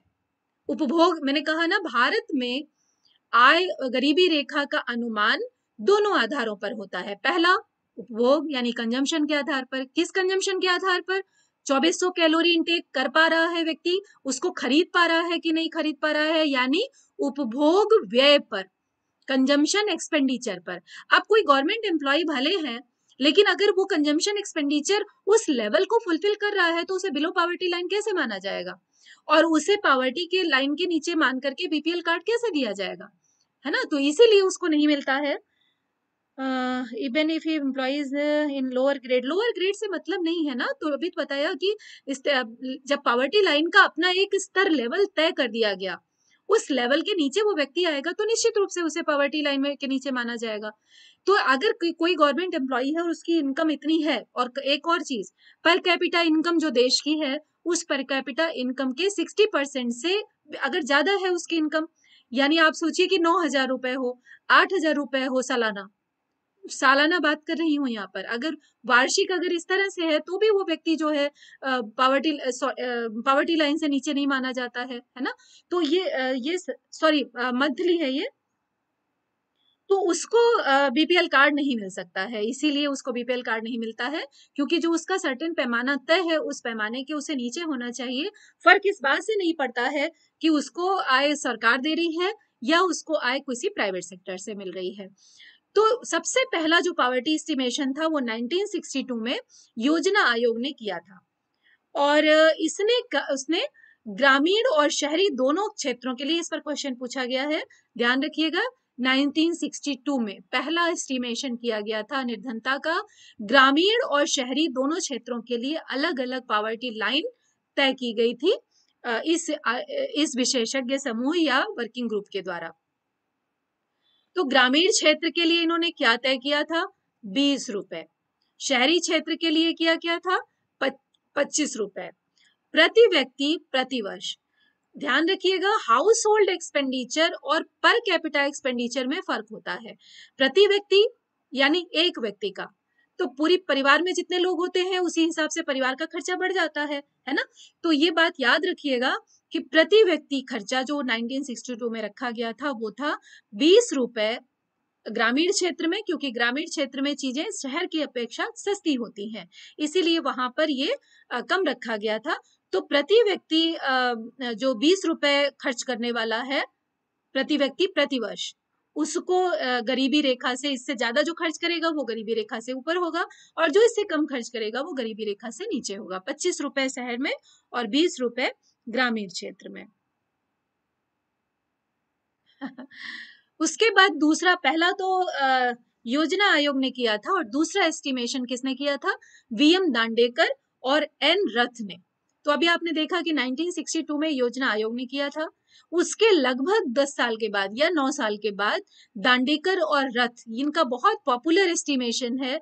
दांडेकर और रथ ने एस्टिमेट किया था गरीबी को, जिसमें इन्होंने एनएसएसओ जो सर्वेक्षण कराता है, उस उस आंकड़े को लिया था और बहुत ही व्यवस्थित तरीके से कहते हैं ना कि ये फ़र्स्ट सिस्टमेटिक सिस्टमेटिक असेसमेंट है। योजना आयोग का जो ग्रुप था, उसने बहुत सिस्टमेटिकली उसको असेस नहीं किया था। तो अगर आपसे कभी पूछा जाता है कि पहला systematic assessment of poverty Bharat में निर्धनता का कौन था तो ध्यान रखिएगा जो दांडेकर और रथ ने किया था 1971 में। एनएसएसओ का ही डेटा इन्होंने लिया था और इन्होंने ये कहा था कि केवल कंजम्पशन एक्सपेंडिचर को ही आधार नहीं बनाया जाना चाहिए, बल्कि जितनी बुनियादी न्यूनतम आवश्यकताएँ हैं, जिसमें एजुकेशन भी हो, हेल्थ भी हो, ये सब इंक्लूड करके, यानी केवल भोजन इनटेक को केवल आप, गरीबी रेखा को पैमाना नहीं मानना चाहिए। तो इसका मतलब क्या हुआ? गरीबी रेखा का लेवल जो है वो बढ़ गया तो इसका मतलब ज़्यादा लोग जो हैं वो पॉवर्टी लाइन के नीचे चले गए। जैसा अभी आप कह रहे हो कि जो लो ग्रेड में रहता है ना? लेकिन उसकी इनकम इतनी नहीं होती कि वो बहुत अच्छी एजुकेशन या बहुत अच्छी हेल्थ भी अचीव कर सके। तो इसी बात को ध्यान में रखते हुए केवल कंजम्पशन को बेसिस बनाना, यानी केवल जो चौबीसों कैलोरी इंटेक कर ले, वो जो है वो पावर्टी लाइन से ऊपर चला जाए तो ये तो बहुत ही असंगत था। इसीलिए दांडेकर और रथ ने जीवन निर्वाह के लिए जो बहुत बुनियादी जरूरतें थी, उनको खर्च, उनके खर्च को भी पावर्टी लाइन में इंक्लूड किया था। तो इसीलिए इन्होंने सबसे पहले जो कैलोरी का सिस्टम आया था, वो दांडेकर और रथ का ही दिया हुआ है। और इन्होंने इन्होंने कहा कि गरीबी रेखा को उस व्यय से जोड़ना चाहिए, उस एक्सपेंडिचर से जोड़ना चाहिए, जो चाहे ग्रामीण क्षेत्र हो चाहे शहरी क्षेत्र हो, बच्चों, ये जो बेसिस हैं, ये जो आधार हैं, इनको ज़रूर याद रखिएगा, क्योंकि इन आधारों को, पर क्वेश्चन बहुत आते हैं। तो ग्रामीण, इन्होंने दोनों को अलग अलग नहीं किया। योजना आयोग के सदस्यों ने तो अलग अलग किया था ना, बीस रुपए और पच्चीस रुपए।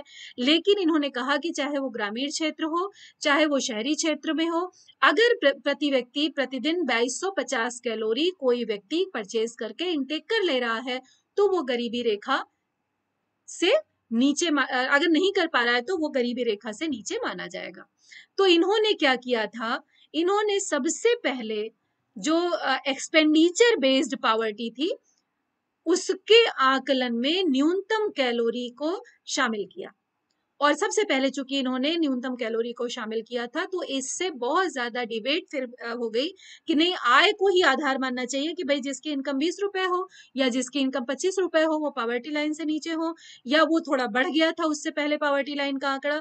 लेकिन इन्होंने कहा कि नहीं, कैलोरी जो है जो चूँकि इतनी कैलोरी जीवन के अस्तित्व को बनाए रखने के लिए बहुत हेल्दी लाइफ थोड़ा सा हेल्थ बनाए रखने के लिए ज़रूरी है। इसलिए तो सबसे पहले कैलोरी जो है वो शामिल की थी दांडेकर और रथ ने। उसके आठ साल के बाद फिर अलग समिति आई। अलग जो है वो वाई के अलग की अध्यक्षता में बनी थी। ये उस समय योजना आयोग के मेंबर थे। और इनकी अध्यक्षता में ये कमेटी बनाई गई थी, एक टास्क फोर्स बनाई गई थी, जिसने गरीबी रेखा को मापने के लिए, ग्रामीण और शहरी क्षेत्र में इसको मापने के लिए इन्होंने अपना बेसिस दिया था।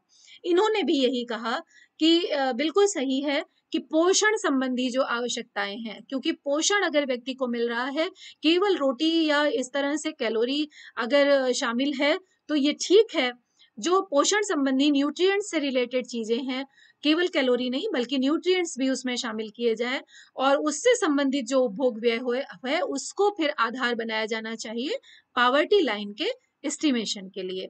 और एक बहुत इंपॉर्टेंट चीज़ इन्होंने इंक्लूड की थी, जिस पर बहुत क्वेश्चन पूछा जाता है। इन्होंने कहा कि आपने बीस रुपए, पच्चीस रुपए एक बार तय कर दिया और उसके बाद आय को, और उसके बाद फिर आपने उसमें चेंज नहीं किया। लेकिन समय के साथ साथ क्या है? कीमतें बढ़ रही हैं ना वस्तुओं की। तो उसमें इन्होंने सबसे पहले मुद्रा स्फीति को एडजस्ट करने की बात कही। यानी जैसे जैसे कीमतें बढ़ती हैं मुद्रा स्फीति बढ़ती है वैसे वैसे पावर्टी लाइन को भी चेंज होते रहना चाहिए। ये सबसे पहली बात इन्होंने सबसे पहले बोली थी किसने? वाई के अलग ने। तो ये बहुत इंपॉर्टेंट टॉपिक था, बहुत इनकी रिपोर्ट का बहुत इंपॉर्टेंट पॉइंट था। इस बात को याद रखिएगा, अगर इससे रिलेटेड क्वेश्चन आता है तो। उसके बाद काफ़ी लंबा समय बीत गया, लगभग तेरह चौदह साल बीत गए। फिर लकड़ा वाला कमेटी एक बनाई गई थी पावर्टी को एस्टिमेट करने के लिए। लकड़ा वाला कमेटी, जिनका नाम था पूरा डीटी लकड़ा वाला इसीलिए उसे लकड़ा वाला कमेटी कहते हैं, ये भी एक टास्क फोर्स बनाई गई थी। और इसने ये कहा, इन्होंने कहा कि जो इंडेक्सेस बनते हैं इंडेक्सेस दो इंडेक्सेस की इन्होंने कहा कि दो इंडेक्स बनाए जाने चाहिए। क्योंकि इस बात की बहुत आलोचना की गई कि जनरली क्या होता है होलसेल प्राइस इंडेक्स पर इस तरह की चीज़ें बना दी जाती हैं। कंज्यूमर प्राइस जो उपभोक्ता मूल्य सूचकांक है, उसके आधार पर पावर्टी लाइन का कैलकुलेशन किया जाना चाहिए। बच्चों, जो इंडेक्स बनते हैं, उसमें दो बहुत इंपॉर्टेंट इंडेक्स हैं। एक थोक मूल्य सूचकांक होलसेल प्राइस इंडेक्स और दूसरा है उपभोक्ता मूल्य सूचकांक कंज्यूमर प्राइस इंडेक्स तो इन्होंने कहा कंज्यूमर प्राइस इंडेक्स जो है वो एक तो इंडस्ट्रियल वर्कर का अलग से बनना चाहिए, है ना? दो कंज्यूमर इंडेक्स बनने चाहिए। जब भी पावर्टी लाइन एस्टिमेशन हो तो ये दो क्यों कहे? वही शहरी और ग्रामीण क्षेत्र के आधार पर इन्होंने कहा। लेकिन इन्होंने उसको बेस किसको बनाया? लेबर को, श्रमिकों को। तो इन्होंने कहा कि जो एग्रीकल्चर लेबर है उसके लिए एक उपभोक्ता मूल्य सूचकांक बनाया जाना चाहिए। तो ये क्यों कहा? क्योंकि इसमें जब इंडेक्स बनता है तो उसमें मुद्रास्फीति एडजस्ट हो जाती है। तो अलग की बात को ही आगे बढ़ाते हुए इन्होंने कहा कि मुद्रास्फीति को जो एडजस्ट करते हुए इंडेक्सेस बनते हैं, उन इंडेक्सेस के हाँ बिल्कुल। लखला वाला जो है बहुत फ़ेमस थे। इन्होंने कहा, उसके आधार पर शहरी क्षेत्र में इंडस्ट्रियल वर्कर का कंज्यूमर प्राइस इंडेक्स बनना चाहिए। जो उपभोक्ता मूल्य सूचकांक है वो बनना चाहिए। और जो ग्रामीण क्षेत्र है, उसमें एग्रीकल्चरल लेबर जो है, जो जो कृषि मजदूर हैं उनका एक उपभोक्ता मूल्य सूचकांक बनना चाहिए और फिर इनके उपयोग की जाने वाली जो टोकरी है जो एक जो बास्केट जिसमें यानी ये जिन चीज़ों का उपयोग करते हैं अपनी डेली लाइफ में उनकी बास्केट तैयार की जानी चाहिए पावर्टी लाइन को मेजर करने के लिए ठीक है? इन्होंने कुछ स्पेशल पॉइंट दिए थे जिसमें से इसमें सबसे पहला ये था कि उपभोग की, व्यय की गणना कैलोरी की खपत के आधार पर की जानी चाहिए, आय के आधार पर नहीं होनी चाहिए। दूसरी बात इन्होंने कहा कि राज्यों पर जो जो ये पावर्टी लाइन है, एक पावर्टी लाइन तय कर दी जाती है और पूरे देश के लिए यूनानिमस वही चलती है। ऐसा नहीं होना चाहिए, बल्कि स्पेशल राज्यों की अलग पावर्टी लाइन बननी चाहिए। ऐसे स्टेट जो बहुत पिछड़े हुए हैं, उनकी पावर्टी लाइन अलग से बनाई जानी चाहिए और शहरी क्षेत्रों की पावर्टी लाइन जो है, वो ग्रामीण क्षेत्रों में उपयोग नहीं किया जाना चाहिए। दूसरी बात, इन्हें रेगुलर अपडेट किए जाने की भी ज़रूरत होती है। इन्हें रेगुलर अपडेट किया जाना चाहिए। उसके बाद इन्होंने ये कहा कि जो नेशनल अकाउंट स्टैटिस्टिक्स है, ये नेशनल अकाउंट स्टैटिस्टिक्स बच्चों वही है जो सीएसओ तैयार करता था। राष्ट्रीय आय का अनुमान लगाना, बेरोजगारी का अनुमान लगाना, बेरोजगारी की संख्या कितनी है सेविंग कितनी है एक्सपोर्ट कितना है इंपोर्ट कितना है क्रॉपिंग पैटर्न कितना है, उत्पादन कितना है एग्रीकल्चर सेक्टर में सर्विसेज़ का, यानी इस तरह की सारी चीज़ें जो मैक्रो इकोनॉमिक्स के अंतर्गत आती हैं, वो सारे चीज़ें एनएएस के थ्रू यानी नेशनल अकाउंट स्टैटिस्टिक्स, जिसमें राष्ट्रीय आय मापने की सारी आंकड़े, सारी गणना की जाती थी। और इसी के आधार पर अनुमान लगाया जाता था कि जो पावर्टी लाइन है, वो क्या होनी चाहिए। इन्होंने ये पहली बार ऐसा कहा कि ये इसके अनुमान पर नहीं, बल्कि एक्चुअल सर्वे कराया जाना चाहिए और इस एक्चुअल सर्वे के आधार पर ही जो पावर्टी लाइन है, उसका एस्टिमेशन किया जाना चाहिए। उसके बाद बहुत फ़ेमस कमेटी आई थी, तेंदुलकर कमेटी।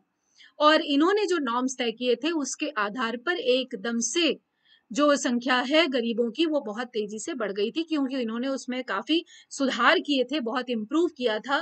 तेंदुलकर कमेटी ने 2005 में यहाँ बच्चों जो ईयर है, उसका मतलब है कि 2005 पे ये कमेटी बनाई गई थी और 2009 में इसने अपनी रिपोर्ट प्रस्तुत की थी। इसीलिए दोनों ईयर यहाँ पर डाल दिए हैं जिससे आपको ये ध्यान में रहे।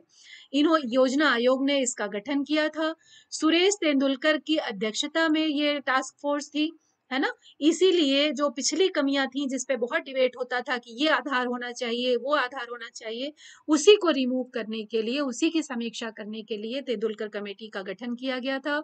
और तेंदुलकर कमेटी ने जो जो रिकमेंडेशन दी थी, उसमें जो बहुत इंपॉर्टेंट रिकमेंडेशन थी, वो ये थी कि जो अप्रचलित उपभोग पैटर्न है है ना? कौन सा जो तिहत्तर चौहत्तर से चला आ रहा है, जो पीएलबी है, गरीबी रेखा की टोकरी, उसमें क्या चीज़ें डाली हुई हैं? वो वस्तुएँ फॉर एग्ज़ाम्पल मैं आपको बताऊँ जैसे पहले आ, मोटा अनाज खाया जाता था गाँव में जो ज्वार है बाजरा है मक्का है इन सब का इस्तेमाल ज़्यादा होता था जिसको हम कहते हैं मोटा अनाज सीरियल्स जिनको कहते हैं। तो बास्केट में वही सारी चीज़ें पड़ी हुई थी जबकि जब 90s का दशक आया तो उपभोग पैटर्न बिल्कुल बदल गया। तो तेंदुलकर जो जो डिबेट होता था वो इन्हीं सब बातों पर तो होता था कि गरीबी रेखा का अनुमान बदलते हुए उपभोग पैटर्न के आधार पर होना चाहिए। तो इसीलिए फिर इन्होंने कहा कि जो पीएलबी है, यानी गरीबी रेखा की टोकरी है, यानी जो पावर्टी लाइन बास्केट है, उसमें जो ऐसी चीज़ें हैं जिनका उपभोग अब नहीं होता, उनको उसमें से बाहर निकाल दिया जाना चाहिए। दूसरी बात इन्होंने कही जो बहुत इंपॉर्टेंट थी तो एक बात तो समझ गए कि जो अप्रचलित उपभोग है उसे इससे बाहर निकाल देना चाहिए। तेंदुलकर कमेटी पर बहुत क्वेश्चन आते हैं। इसलिए इनकी जो खास खास रिकमेंडेशन है, वो बहुत इंपॉर्टेंट है, उनको ध्यान में रखिएगा। दूसरी बात, पहली बात ये कही कि जो एब्सोल्यूट कंजम्पशन है, उसे हटा दीजिए बास्केट में से। दूसरा जो एडजस्टमेंट है, वो मुद्रास्फीति का होना ज़रूरी है और चूँकि कीमतें बढ़ती रहती हैं, इसीलिए पावर्टी लाइन को भी बढ़ती हुई कीमतों के आधार पर अपडेट होना चाहिए। तीसरी बात इन्होंने कही कि इसमें हेल्थ से, चूँकि सबसे ज़्यादा खर्चा कंजम्पशन के बाद हेल्थ पर और एजुकेशन पर होता है। तो हेल्थ और एजुकेशन को भी हेल्थ और एजुकेशन को भी गरीबी रेखा में शामिल किया जाना चाहिए। पहले क्या था कि चूँकि ये माना जाता था कि ये दोनों स्टेट प्रोवाइड कराते हैं और गरीबी रेखा का जो अनुमान है वो सेंटर के द्वारा, केंद्र के द्वारा किया जाता है, इसीलिए इसको इसमें शामिल नहीं किया जाता था। लेकिन इसके बाद जब ये हुआ कि नहीं गरीबी रेखा राज्य के स्तर पर भी निर्धारित की जा सकती है तो ये माना तेंदुलकर कमेटी ने कि स्वास्थ्य और शिक्षा पर सबसे ज़्यादा खर्चा होता है आफ्टर कंजम्पशन आफ्टर उपभोग जो खाने की चीज़ें हैं उनके बाद। तो इसीलिए इसको इसमें शामिल करना ज़रूरी है। जो रिकमेंडेशन इन्होंने दी थी, उसमें ये कहा था कि जो कैलोरी उपभोग है, उस जो कैलोरी उपभोग आधारित गरीबी है, उसको थोड़ा सा अपशिफ्ट करने की ज़रूरत है। इन्होंने कहा कि उसमें जो पुरानी चीज़ें हैं उनको हटा देना चाहिए और इसमें क्या क्या शामिल करना चाहिए कुछ खास चीज़ें थी जिनको यहाँ पर मैंने मेंशन कर दिया है। इस चीज़ को ध्यान में रखिएगा, जो अनाज है, क्योंकि जैसे अब गेहूँ ज़्यादा खाया जाने लगे तो मोटे अनाज की जगह गेहूँ, दालें, दूध, खाद्य तेल, जो जो फ्रूट्स हैं, इसके अलावा ड्राई फ्रूट्स हैं जो ऐसी चीज़ें, यानी जितनी चीज़ें यहाँ पर मैंने लिखी हैं, चाहे वो मनोरंजन हो चाहे वो शिक्षा हो, चाहे वो चिकित्सा हो, ये सारी चीज़ें उस बास्केट में इंक्लूड होनी चाहिए, ऐसा इनकी रिकमेंडेशन में कहा गया था। इन्होंने कहा कि जो गरीबी रेखा की टोकरी है, वो समान होनी चाहिए। अलग अलग जो वाई के अलग थे, उनकी कमेटी ने जो रिकमेंडेशन दी थी, उन्होंने ग्रामीण और शहरी क्षेत्रों के लिए अलग अलग पीएलबी बनाई थी। हालाँकि अपनी तर, अपनी जगह वो भी लॉजिकल था क्योंकि ग्रामीण क्षेत्र में जो उपभोग का पैटर्न होता है वो अलग होता है। शहरी क्षेत्र में जो उपभोग का पैटर्न होता है वो अलग होता है। इसीलिए जब वाई के अलग ने दोनों के लिए पीएलबी बनाई थी यानी पावर्टी लाइन बास्केट यानी गरीबी रेखा टोकरी बनाई थी तो वो अलग अलग वस्तुओं के आधार पर बनाई थी। लेकिन तेंदुलकर कमेटी का कहना था कि ये अलग अलग नहीं होना चाहिए बल्कि समान होना चाहिए। तेंदुलकर कमेटी की इस बात पर आलोचना भी की गई। इस बात को याद रखिएगा। ये जो पॉइंट था, इस पर बहुत आलोचना हुई तेंदुलकर कमेटी की कि दोनों जगह जो कंजम्पशन एक्सपेंडिचर है वो बिल्कुल अलग अलग है। और इसके आधार पर इन्होंने ये कहा था कि चार सौ छियालीस रुपए अड़सठ पैसे। ये डेटा याद रखिएगा। तेंदुलकर कमेटी की रिकमेंडेशन थी कि ग्रामीण क्षेत्र में अगर कोई व्यक्ति एक महीने में लगभग पाँच सौ मान लीजिए, अगर पाँच सौ रुपए खर्च कर लेता है रूरल एरिया में तो वो बिलो पॉवर्टी लाइन नहीं माना जाएगा। पाँच सौ रुपए आप सोच करके देखिए, अगर इन्होंने जो रिकमेंडेशन 2009 में भी दी थी तो 2009 में भी पाँच सौ रुपए पर मंथ एक व्यक्ति के लिए बहुत मायने रखता है। तो ये पावर्टी लाइन इन्होंने तय की थी। इन्होंने शहरी क्षेत्र में उसे पाँच सौ रुपए रखा था। लगभग पाँच सौ अस्सी मान लीजिए। तो शहरों में प्रति व्यक्ति पाँच सौ अस्सी रुपए। इसका मतलब क्या हुआ? अगर किसी व्यक्ति के परिवार में पाँच लोग हैं तो अगर वो ढाई हज़ार रुपए महीना कमा रहा है तो वो पावर्टी लाइन से नीचे नहीं माना जाएगा, है ना? अब आप सोचिए, आप कह रहे हो ना कि अगर कोई गवर्नमेंट सर्वेंट है तो उसे पावर्टी लाइन के नीचे क्यों नहीं माना जाता? यही कारण है कि ढाई हज़ार रुपए महीना भी अगर उसे मिल रहा है तो वो पावर्टी अब सोचिए कि ढाई हज़ार रुपए कितना छोटा अमाउंट है। कि रिलेटिव टर्म्स में जब हम देखते हैं तो हमें लगता है कि कैसे कोई अपना जीवन यापन करता होगा। लेकिन जो रिकमेंडेशन है वो यही है। उसके बाद इन्होंने कहा कि जो प्राइवेट एक्सपेंडिचर है, जो निजी व्यय है, उसमें स्वास्थ्य और शिक्षा पर किए जाने वाला व्यय भी उसमें शामिल होना चाहिए। जल्दी से आगे बढ़ते हैं क्योंकि अभी बहुत सारा है। मूल्य समायोजन प्रक्रिया इन्होंने फिर इसमें शामिल की और इन्होंने कहा कि गरीबी रेखा के जो पास में लोग हैं, यानी अगर गरीबी रेखा दो हज़ार बाईस सौ दो हज़ार तीन सौ रुपए है तो किसी की इनकम दो हज़ार चौबीस सौ, चार सौ रुपए होगी, किसी की दो हज़ार पाँच सौ रुपए होगी तो जो गरीबी रेखा के बिल्कुल आसपास लोग हैं, उन, उनकी जो बास्केट है, उसको तैयार करने के लिए जो इसमें चेंजेस हैं वो इसमें एक उन्होंने नई विधि उसमें एडजस्ट करने के लिए मूल्य समायोजन प्रक्रिया जिसको कहा जाता है। इसके बाद इन्होंने मिक्स्ड रेफरेंस पीरियड की सिफारिश की। आपको अभी पीछे बता आई हूँ कि मिक्स्ड रेफरेंस पीरियड क्या था, कि 30 दिन की अवधि पे में तो पता लगाया ही लगाया जाए कि 30 दिन की अवधि में उपभोग व्यय क्या था। साथ ही साथ ये भी पता लगाया जाए कि जो बड़े एक्सपेंडिचर हैं, जैसे स्वास्थ्य पर खर्चा, शिक्षा पर खर्चा, ये सब पिछले साल की तुलना में इस साल कितना किया गया है। तो तेंदुलकर कमेटी ने जो बेस बनाया था, वो बनाया था क्रय शक्ति समानता, इस शब्द को याद रखिएगा। तेंदुलकर कमेटी की बहुत सारी पॉइंट्स हैं, जो बहुत पूछे जाते हैं कि इनका आधार क्या था, ठीक है? और ये जो क्रय शक्ति समानता थी, उसके संबंध में इन्होंने तैतीस रुपए प्रतिदिन के बराबर इसे गरीबी रेखा को माना था, thirty three rupees per day. यानी अगर किसी व्यक्ति को और बच्चों समस्या क्या थी कि जब मनरेगा जैसी योजनाएँ आई तो इसी गरीबी रेखा के आधार पर ही उसमें जो मजदूरी थी वो तय की गई थी कि एटलीस्ट इतनी मजदूरी मिले कि जो उनको गरीबी रेखा के ऊपर रखे गरीबी रेखा से नीचे ना रखे। तो अगर गरीबी रेखा तैतीस रुपए प्रतिदिन है और किसी व्यक्ति को अगर पचास रुपए रोज मजदूरी मिल रही है जबकि सोचिए रिलेटिव टर्म्स में ये कितना छोटा अमाउंट है लेकिन उसे गरीबी रे, गरीबी रेखा से नीचे नहीं माना जाएगा है ना? तो क्रय शक्ति समानता जो है, ये एक ऐसा मेथड था, ये नया मेथड इन्होंने इंट्रोड्यूस किया था। इन्होंने कहा जिसमें दो देशों में एक समान की सेवाएँ और वस्तुओं को खरीदने के लिए जितने धन की ज़रूरत होती है।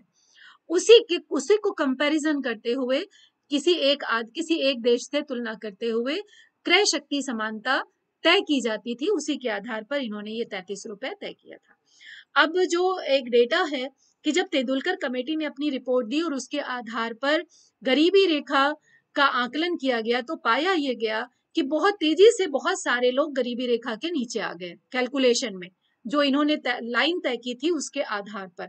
तो जहाँ लकड़ा वाला कमेटी कहती थी कि गाँव में 28 परसेंट गरीब हैं तो और विपक्ष क्या कहता था सरकार का कि ये तो बहुत छोटा आंकड़ा बता रहे हैं, इससे बहुत ज़्यादा संख्या है है ना?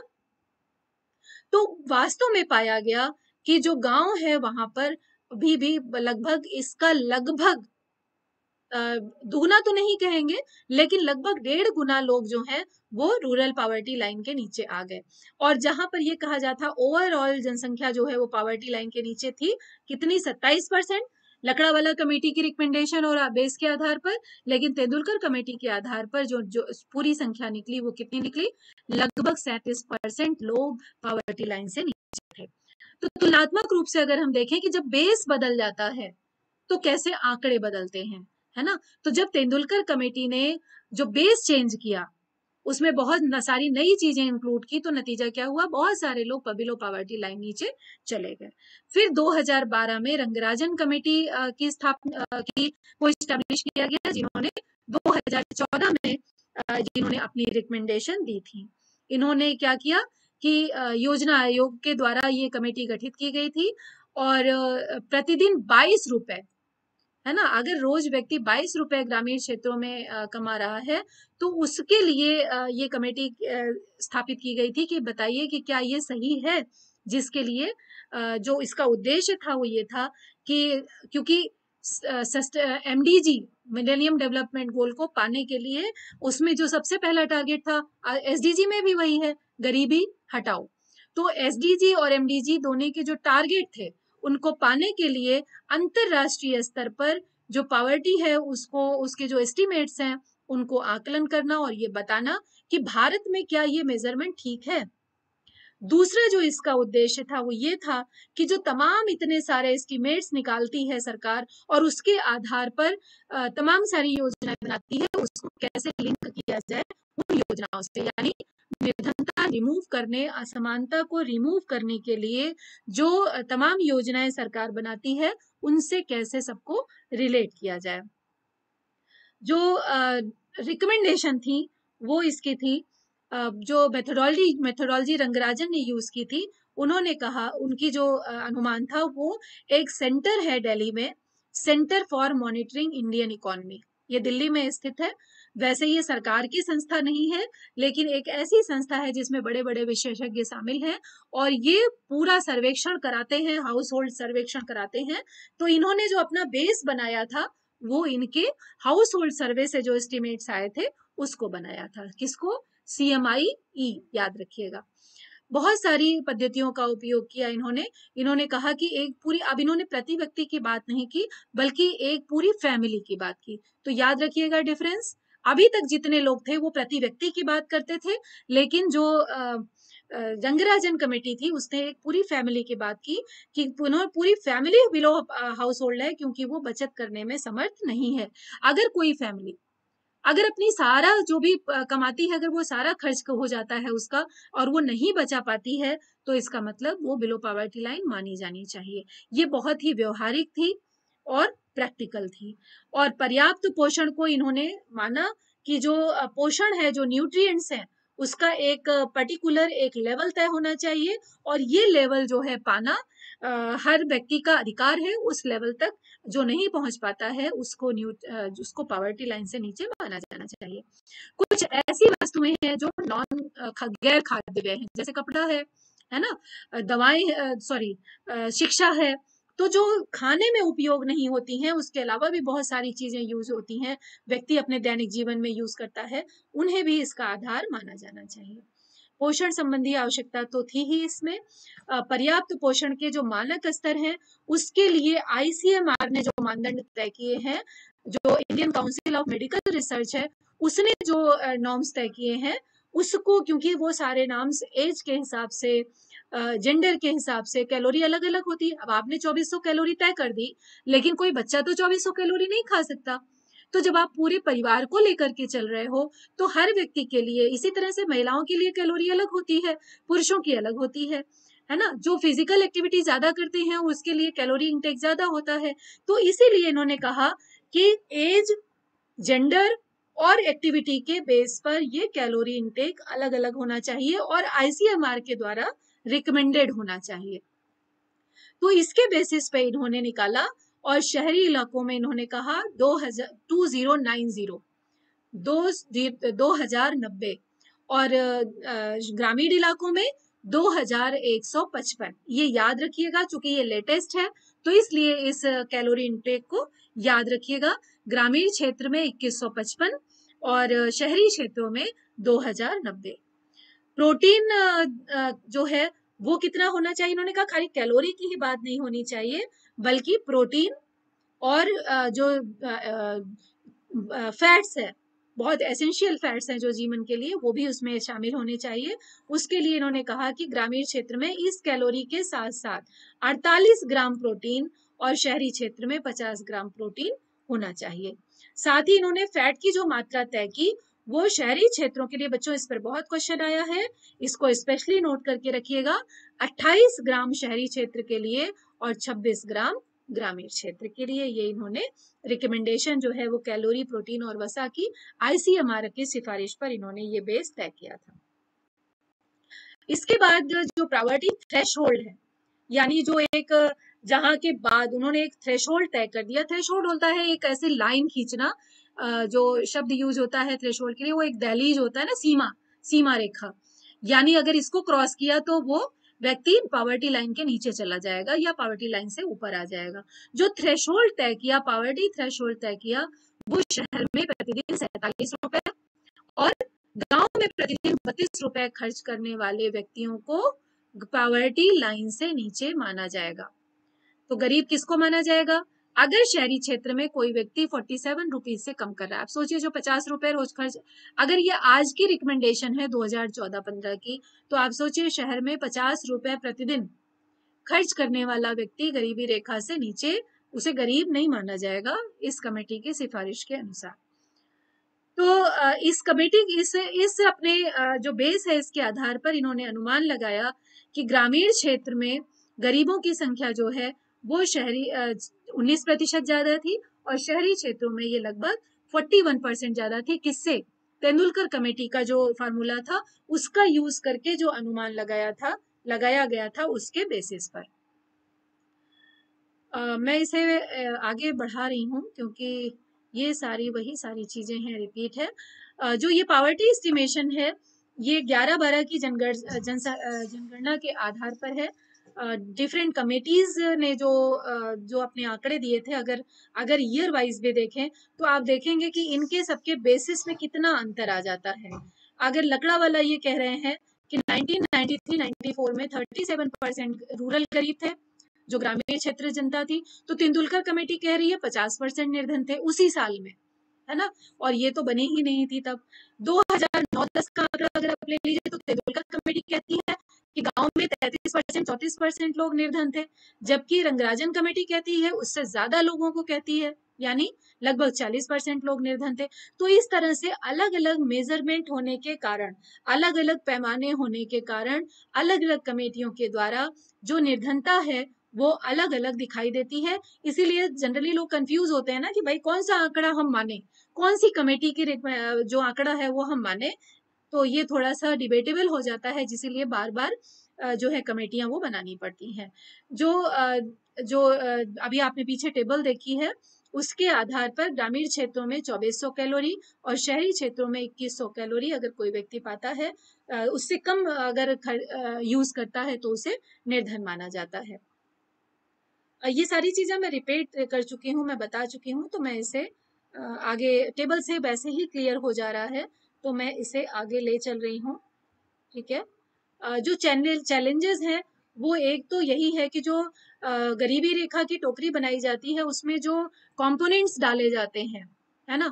उनका जो सिलेक्शन है, वो बहुत इंपॉर्टेंट होता है, क्योंकि उसी के आधार पर कैलोरी इनटेक और उसी के आधार पर गरीबी रेखा में कौन आएगा और कौन नहीं आएगा, ये तय होता है। जबकि ये एक राज्य से दूसरे राज्य में और एक टाइम से दूसरे टाइम में अलग अलग होते हैं। तो ये बास्केट बहुत चैलेंजिंग है, इसीलिए इसको एक चैलेंज की तरह लिया जाता है। दूसरी बात जो है, वो डेमोग्राफी लगातार बदलती रहती है इकोनॉमिक डायनेमिक्स लगातार बदलते रहते हैं, है ना? राष्ट्रीय आय बदलती रहती है प्रति व्यक्ति आय बदलती रहती है, इसलिए भी पावर्टी लाइन या पावर निर्धनों की संख्या एक्चुअली क्या है, ये मेजर करना अपने आप में एक बड़ा चैलेंज है। जो तेंदुलकर कमेटी है और जो रंगराजन कमेटी है, इसको, इसके जो रिपोर्ट हैं, इनको जनरली सारे स्टेट एक्सेप्ट नहीं करते। क्योंकि जैसे कुछ राज्य हैं, जैसे उड़ीसा है, पश्चिम बंगाल है, इन्होंने कहा कि तेंदुलकर कमेटी की रिपोर्ट ठीक थी। जबकि दिल्ली, झारखंड, मिजोरम, इन्होंने रंगराजन कमेटी की रिपोर्ट को ज़्यादा अच्छा माना है। तो जो वर्तमान अधिकारी को, जो आज का जो लेटेस्ट करंट ऑफिशियल मेजर है वो तेंदुलकर कमेटी की जो रिकमेंडेशन है, जो उसका आधार है, अगर आपसे क्वेश्चन पूछा जाता है ना कि भाई करंट करंट आधार क्या है, किस कमेटी की रिपोर्ट को इस समय आधार बनाया गया है तो याद रखिएगा, तेंदुलकर कमेटी की रिपोर्ट जो है, वो उसको गरीबी रेखा का आधार माना गया है। ध्यान दीजिएगा, जिसके आधार पर ग्रामीण क्षेत्र में सत्ताईस दशमलव दो रुपए जो खर्च कर रहा है प्रतिदिन, वो अगर इससे कम होता है तो वो निर्धनता रेखा से नीचे होगा। तो सत्ताईस रुपए चूँकि बहुत कम है और शहरी क्षेत्र में तैतीस रुपए। तो ये जो कि प्रतिदिन के हिसाब से बहुत कम है, इसीलिए तेंदुलकर कमेटी की इस रिकमेंडेशन की या इस मेज़रमेंट की बहुत सारी आलोचनाएँ भी की जाती हैं। मल्टी डायमेंशनल इंडेक्स मैं नहीं बताऊँगी क्योंकि ये मैं इंडेक्स बनाते समय आपको बता चुकी हूँ। यहाँ मैंने सिर्फ़ एक रिकैप लेने के लिए इसको स्लाइड पे डाल रखा है कि आप इसे देखिएगा। कि जो गरीबी है, उसके बहुत सारे आयाम होते हैं, जिसमें केवल कंजम्पशन ही नहीं है। एजुकेशन ना मिल पाना अच्छा जीवन स्तर ना मिल पाना और हेल्थ सर्विसेज़ ना मिल पाना भी इसके अंतर्गत आता है। इसके अलावा जो गरीब और वंचित लोग हैं कहा जाता है कि इनके ऊपर ये इतने डिसएडवांटेज स्टेज में होते हैं कि इन पर डबल बर्डन होता है। एक तरफ़ तो ये आयु जो जो इसीलिए निर्धनता का दुष्चक्र बन जाता है कि एक तरफ़ तो इनकी आय कम होती है, जिसकी वजह से ये जो जो उपभोग है उसका सर्टेन लेवल क्रॉस नहीं कर पाते। और दूसरा बर्डन इनका, इन पर क्या पड़ता है? क्लाइमेटिक चेंज और जो इन्वायरमेंटल डिग्रेडेशन होता है, उसका भी इन पर बहुत बुरा प्रभाव पड़ता है। और इसके अलावा पर्यावरण में जो चेंजेस आते हैं, चूँकि इनके पास बहुत सारी सुविधाएँ नहीं है तो इसका भी जो प्रॉब्लम है, जैसे मान लीजिए स्वच्छ जल नहीं है तो अगर गरीबों को पीने के लिए स्वच्छ जल उपलब्ध नहीं है तो तमाम सारी बीमारियाँ इनको अलग से लग जाती हैं, जिससे इनका स्वास्थ्य का खर्चा और बढ़ जाता है। इनके निर्धारण में खराब स्वास्थ्य, शिक्षा की कमी, जीवन स्तर में बहुत सारी ऐसी चीज़ें हैं, जिन जो इनको नहीं मिल पाती है। तो पर्यावरण के लिए ये सारी चीज़ें खतरनाक होती हैं, जिसको इसमें शामिल किया जाता है। जो नीति आयोग ने स्ट्रेटेजी बनाई है, एक विजन डॉक्यूमेंट इन्होंने मेरे ख्याल से जो विजन डॉक्यूमेंट है, उस विजन नीति आयोग के द्वारा जो लाया गया है, उसमें कुछ चीज़ें एक तो ये रखा गया है कि 2032 तक 2017 में ये विजन डॉक्यूमेंट आया है और इस अगर आपसे पूछा जाए तो ध्यान रखिएगा कि जो टारगेट जो है वो है 2032 तक निर्धनता को पूरी तरह से हटा देना। आपको अगर सस्टेनेबल डेवलपमेंट गोल याद हो तो याद होगा कि जो गोल नंबर वन था, वो था गरीबी दूर करना। पहला ही गोल था, है ना? तो उसको ध्यान में रखते हुए, चूँकि उसमें बहुत सारी चीज़ें 2030 तक की गई हैं तो इसीलिए भारत ने भी अपना टारगेट रखा है 2032 तक। निर्धनता को पूरी तरह से समाप्त करने का।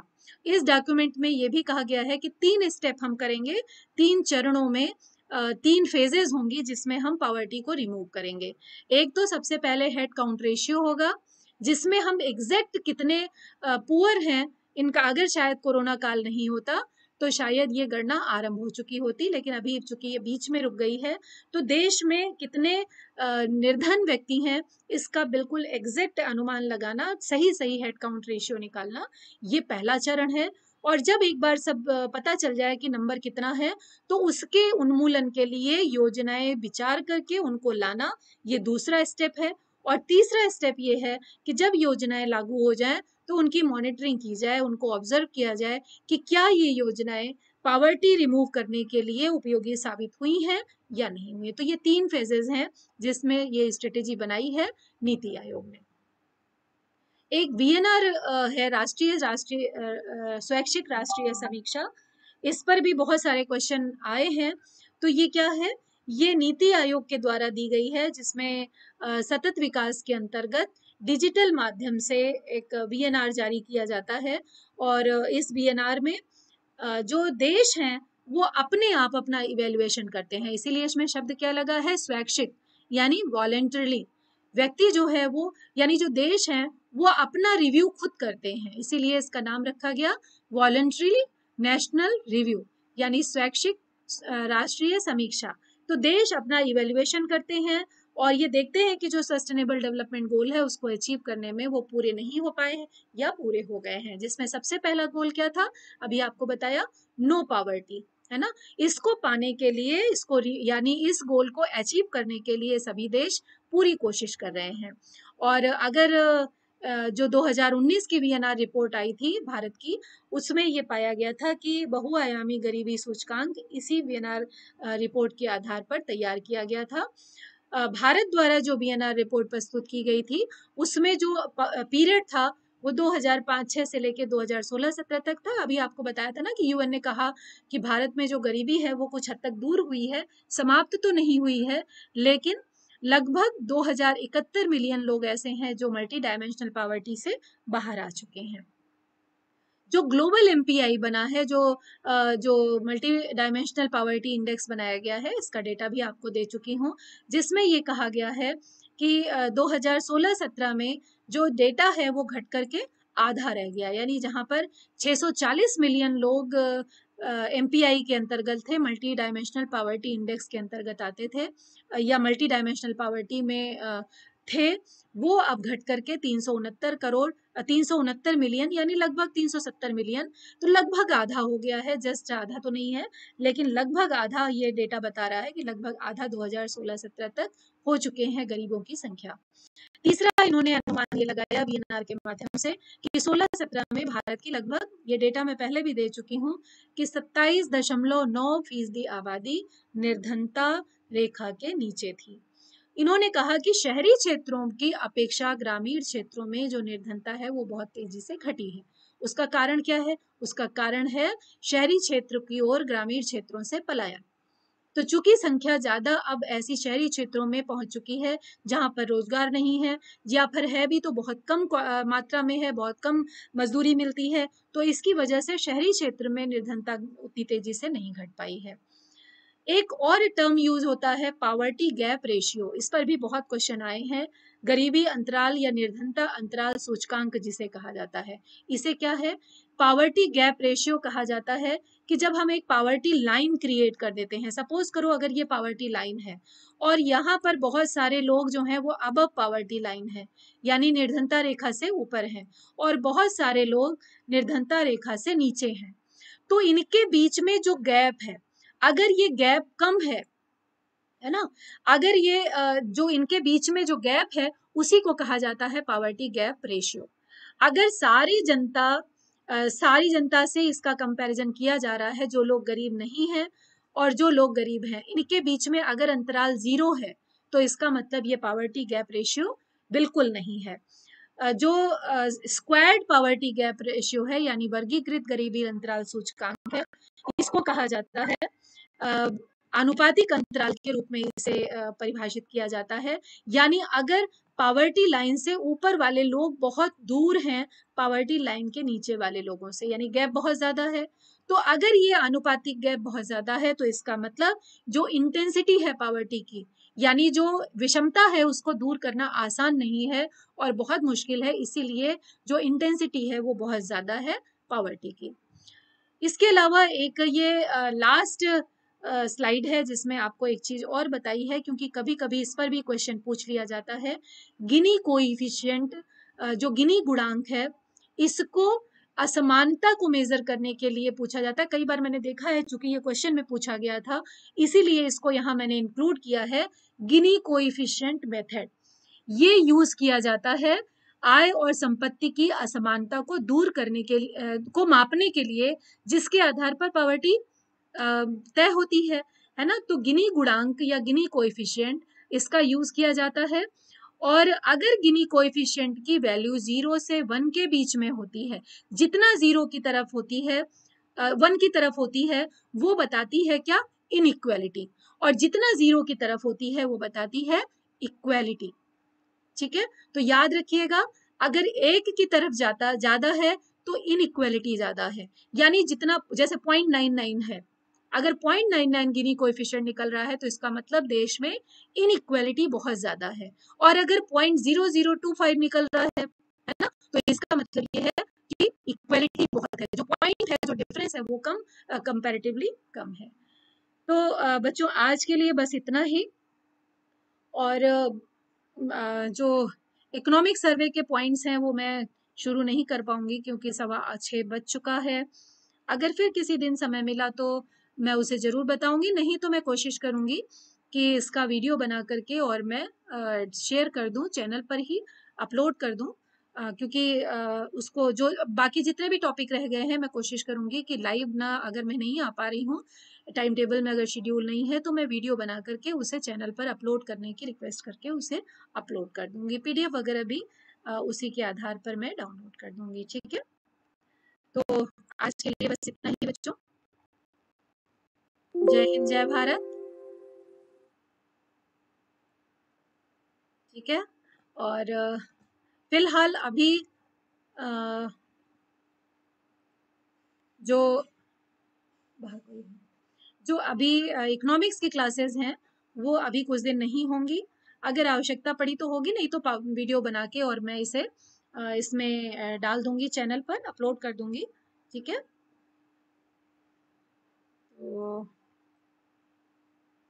ठीक है? जय हिंद, जय भारत।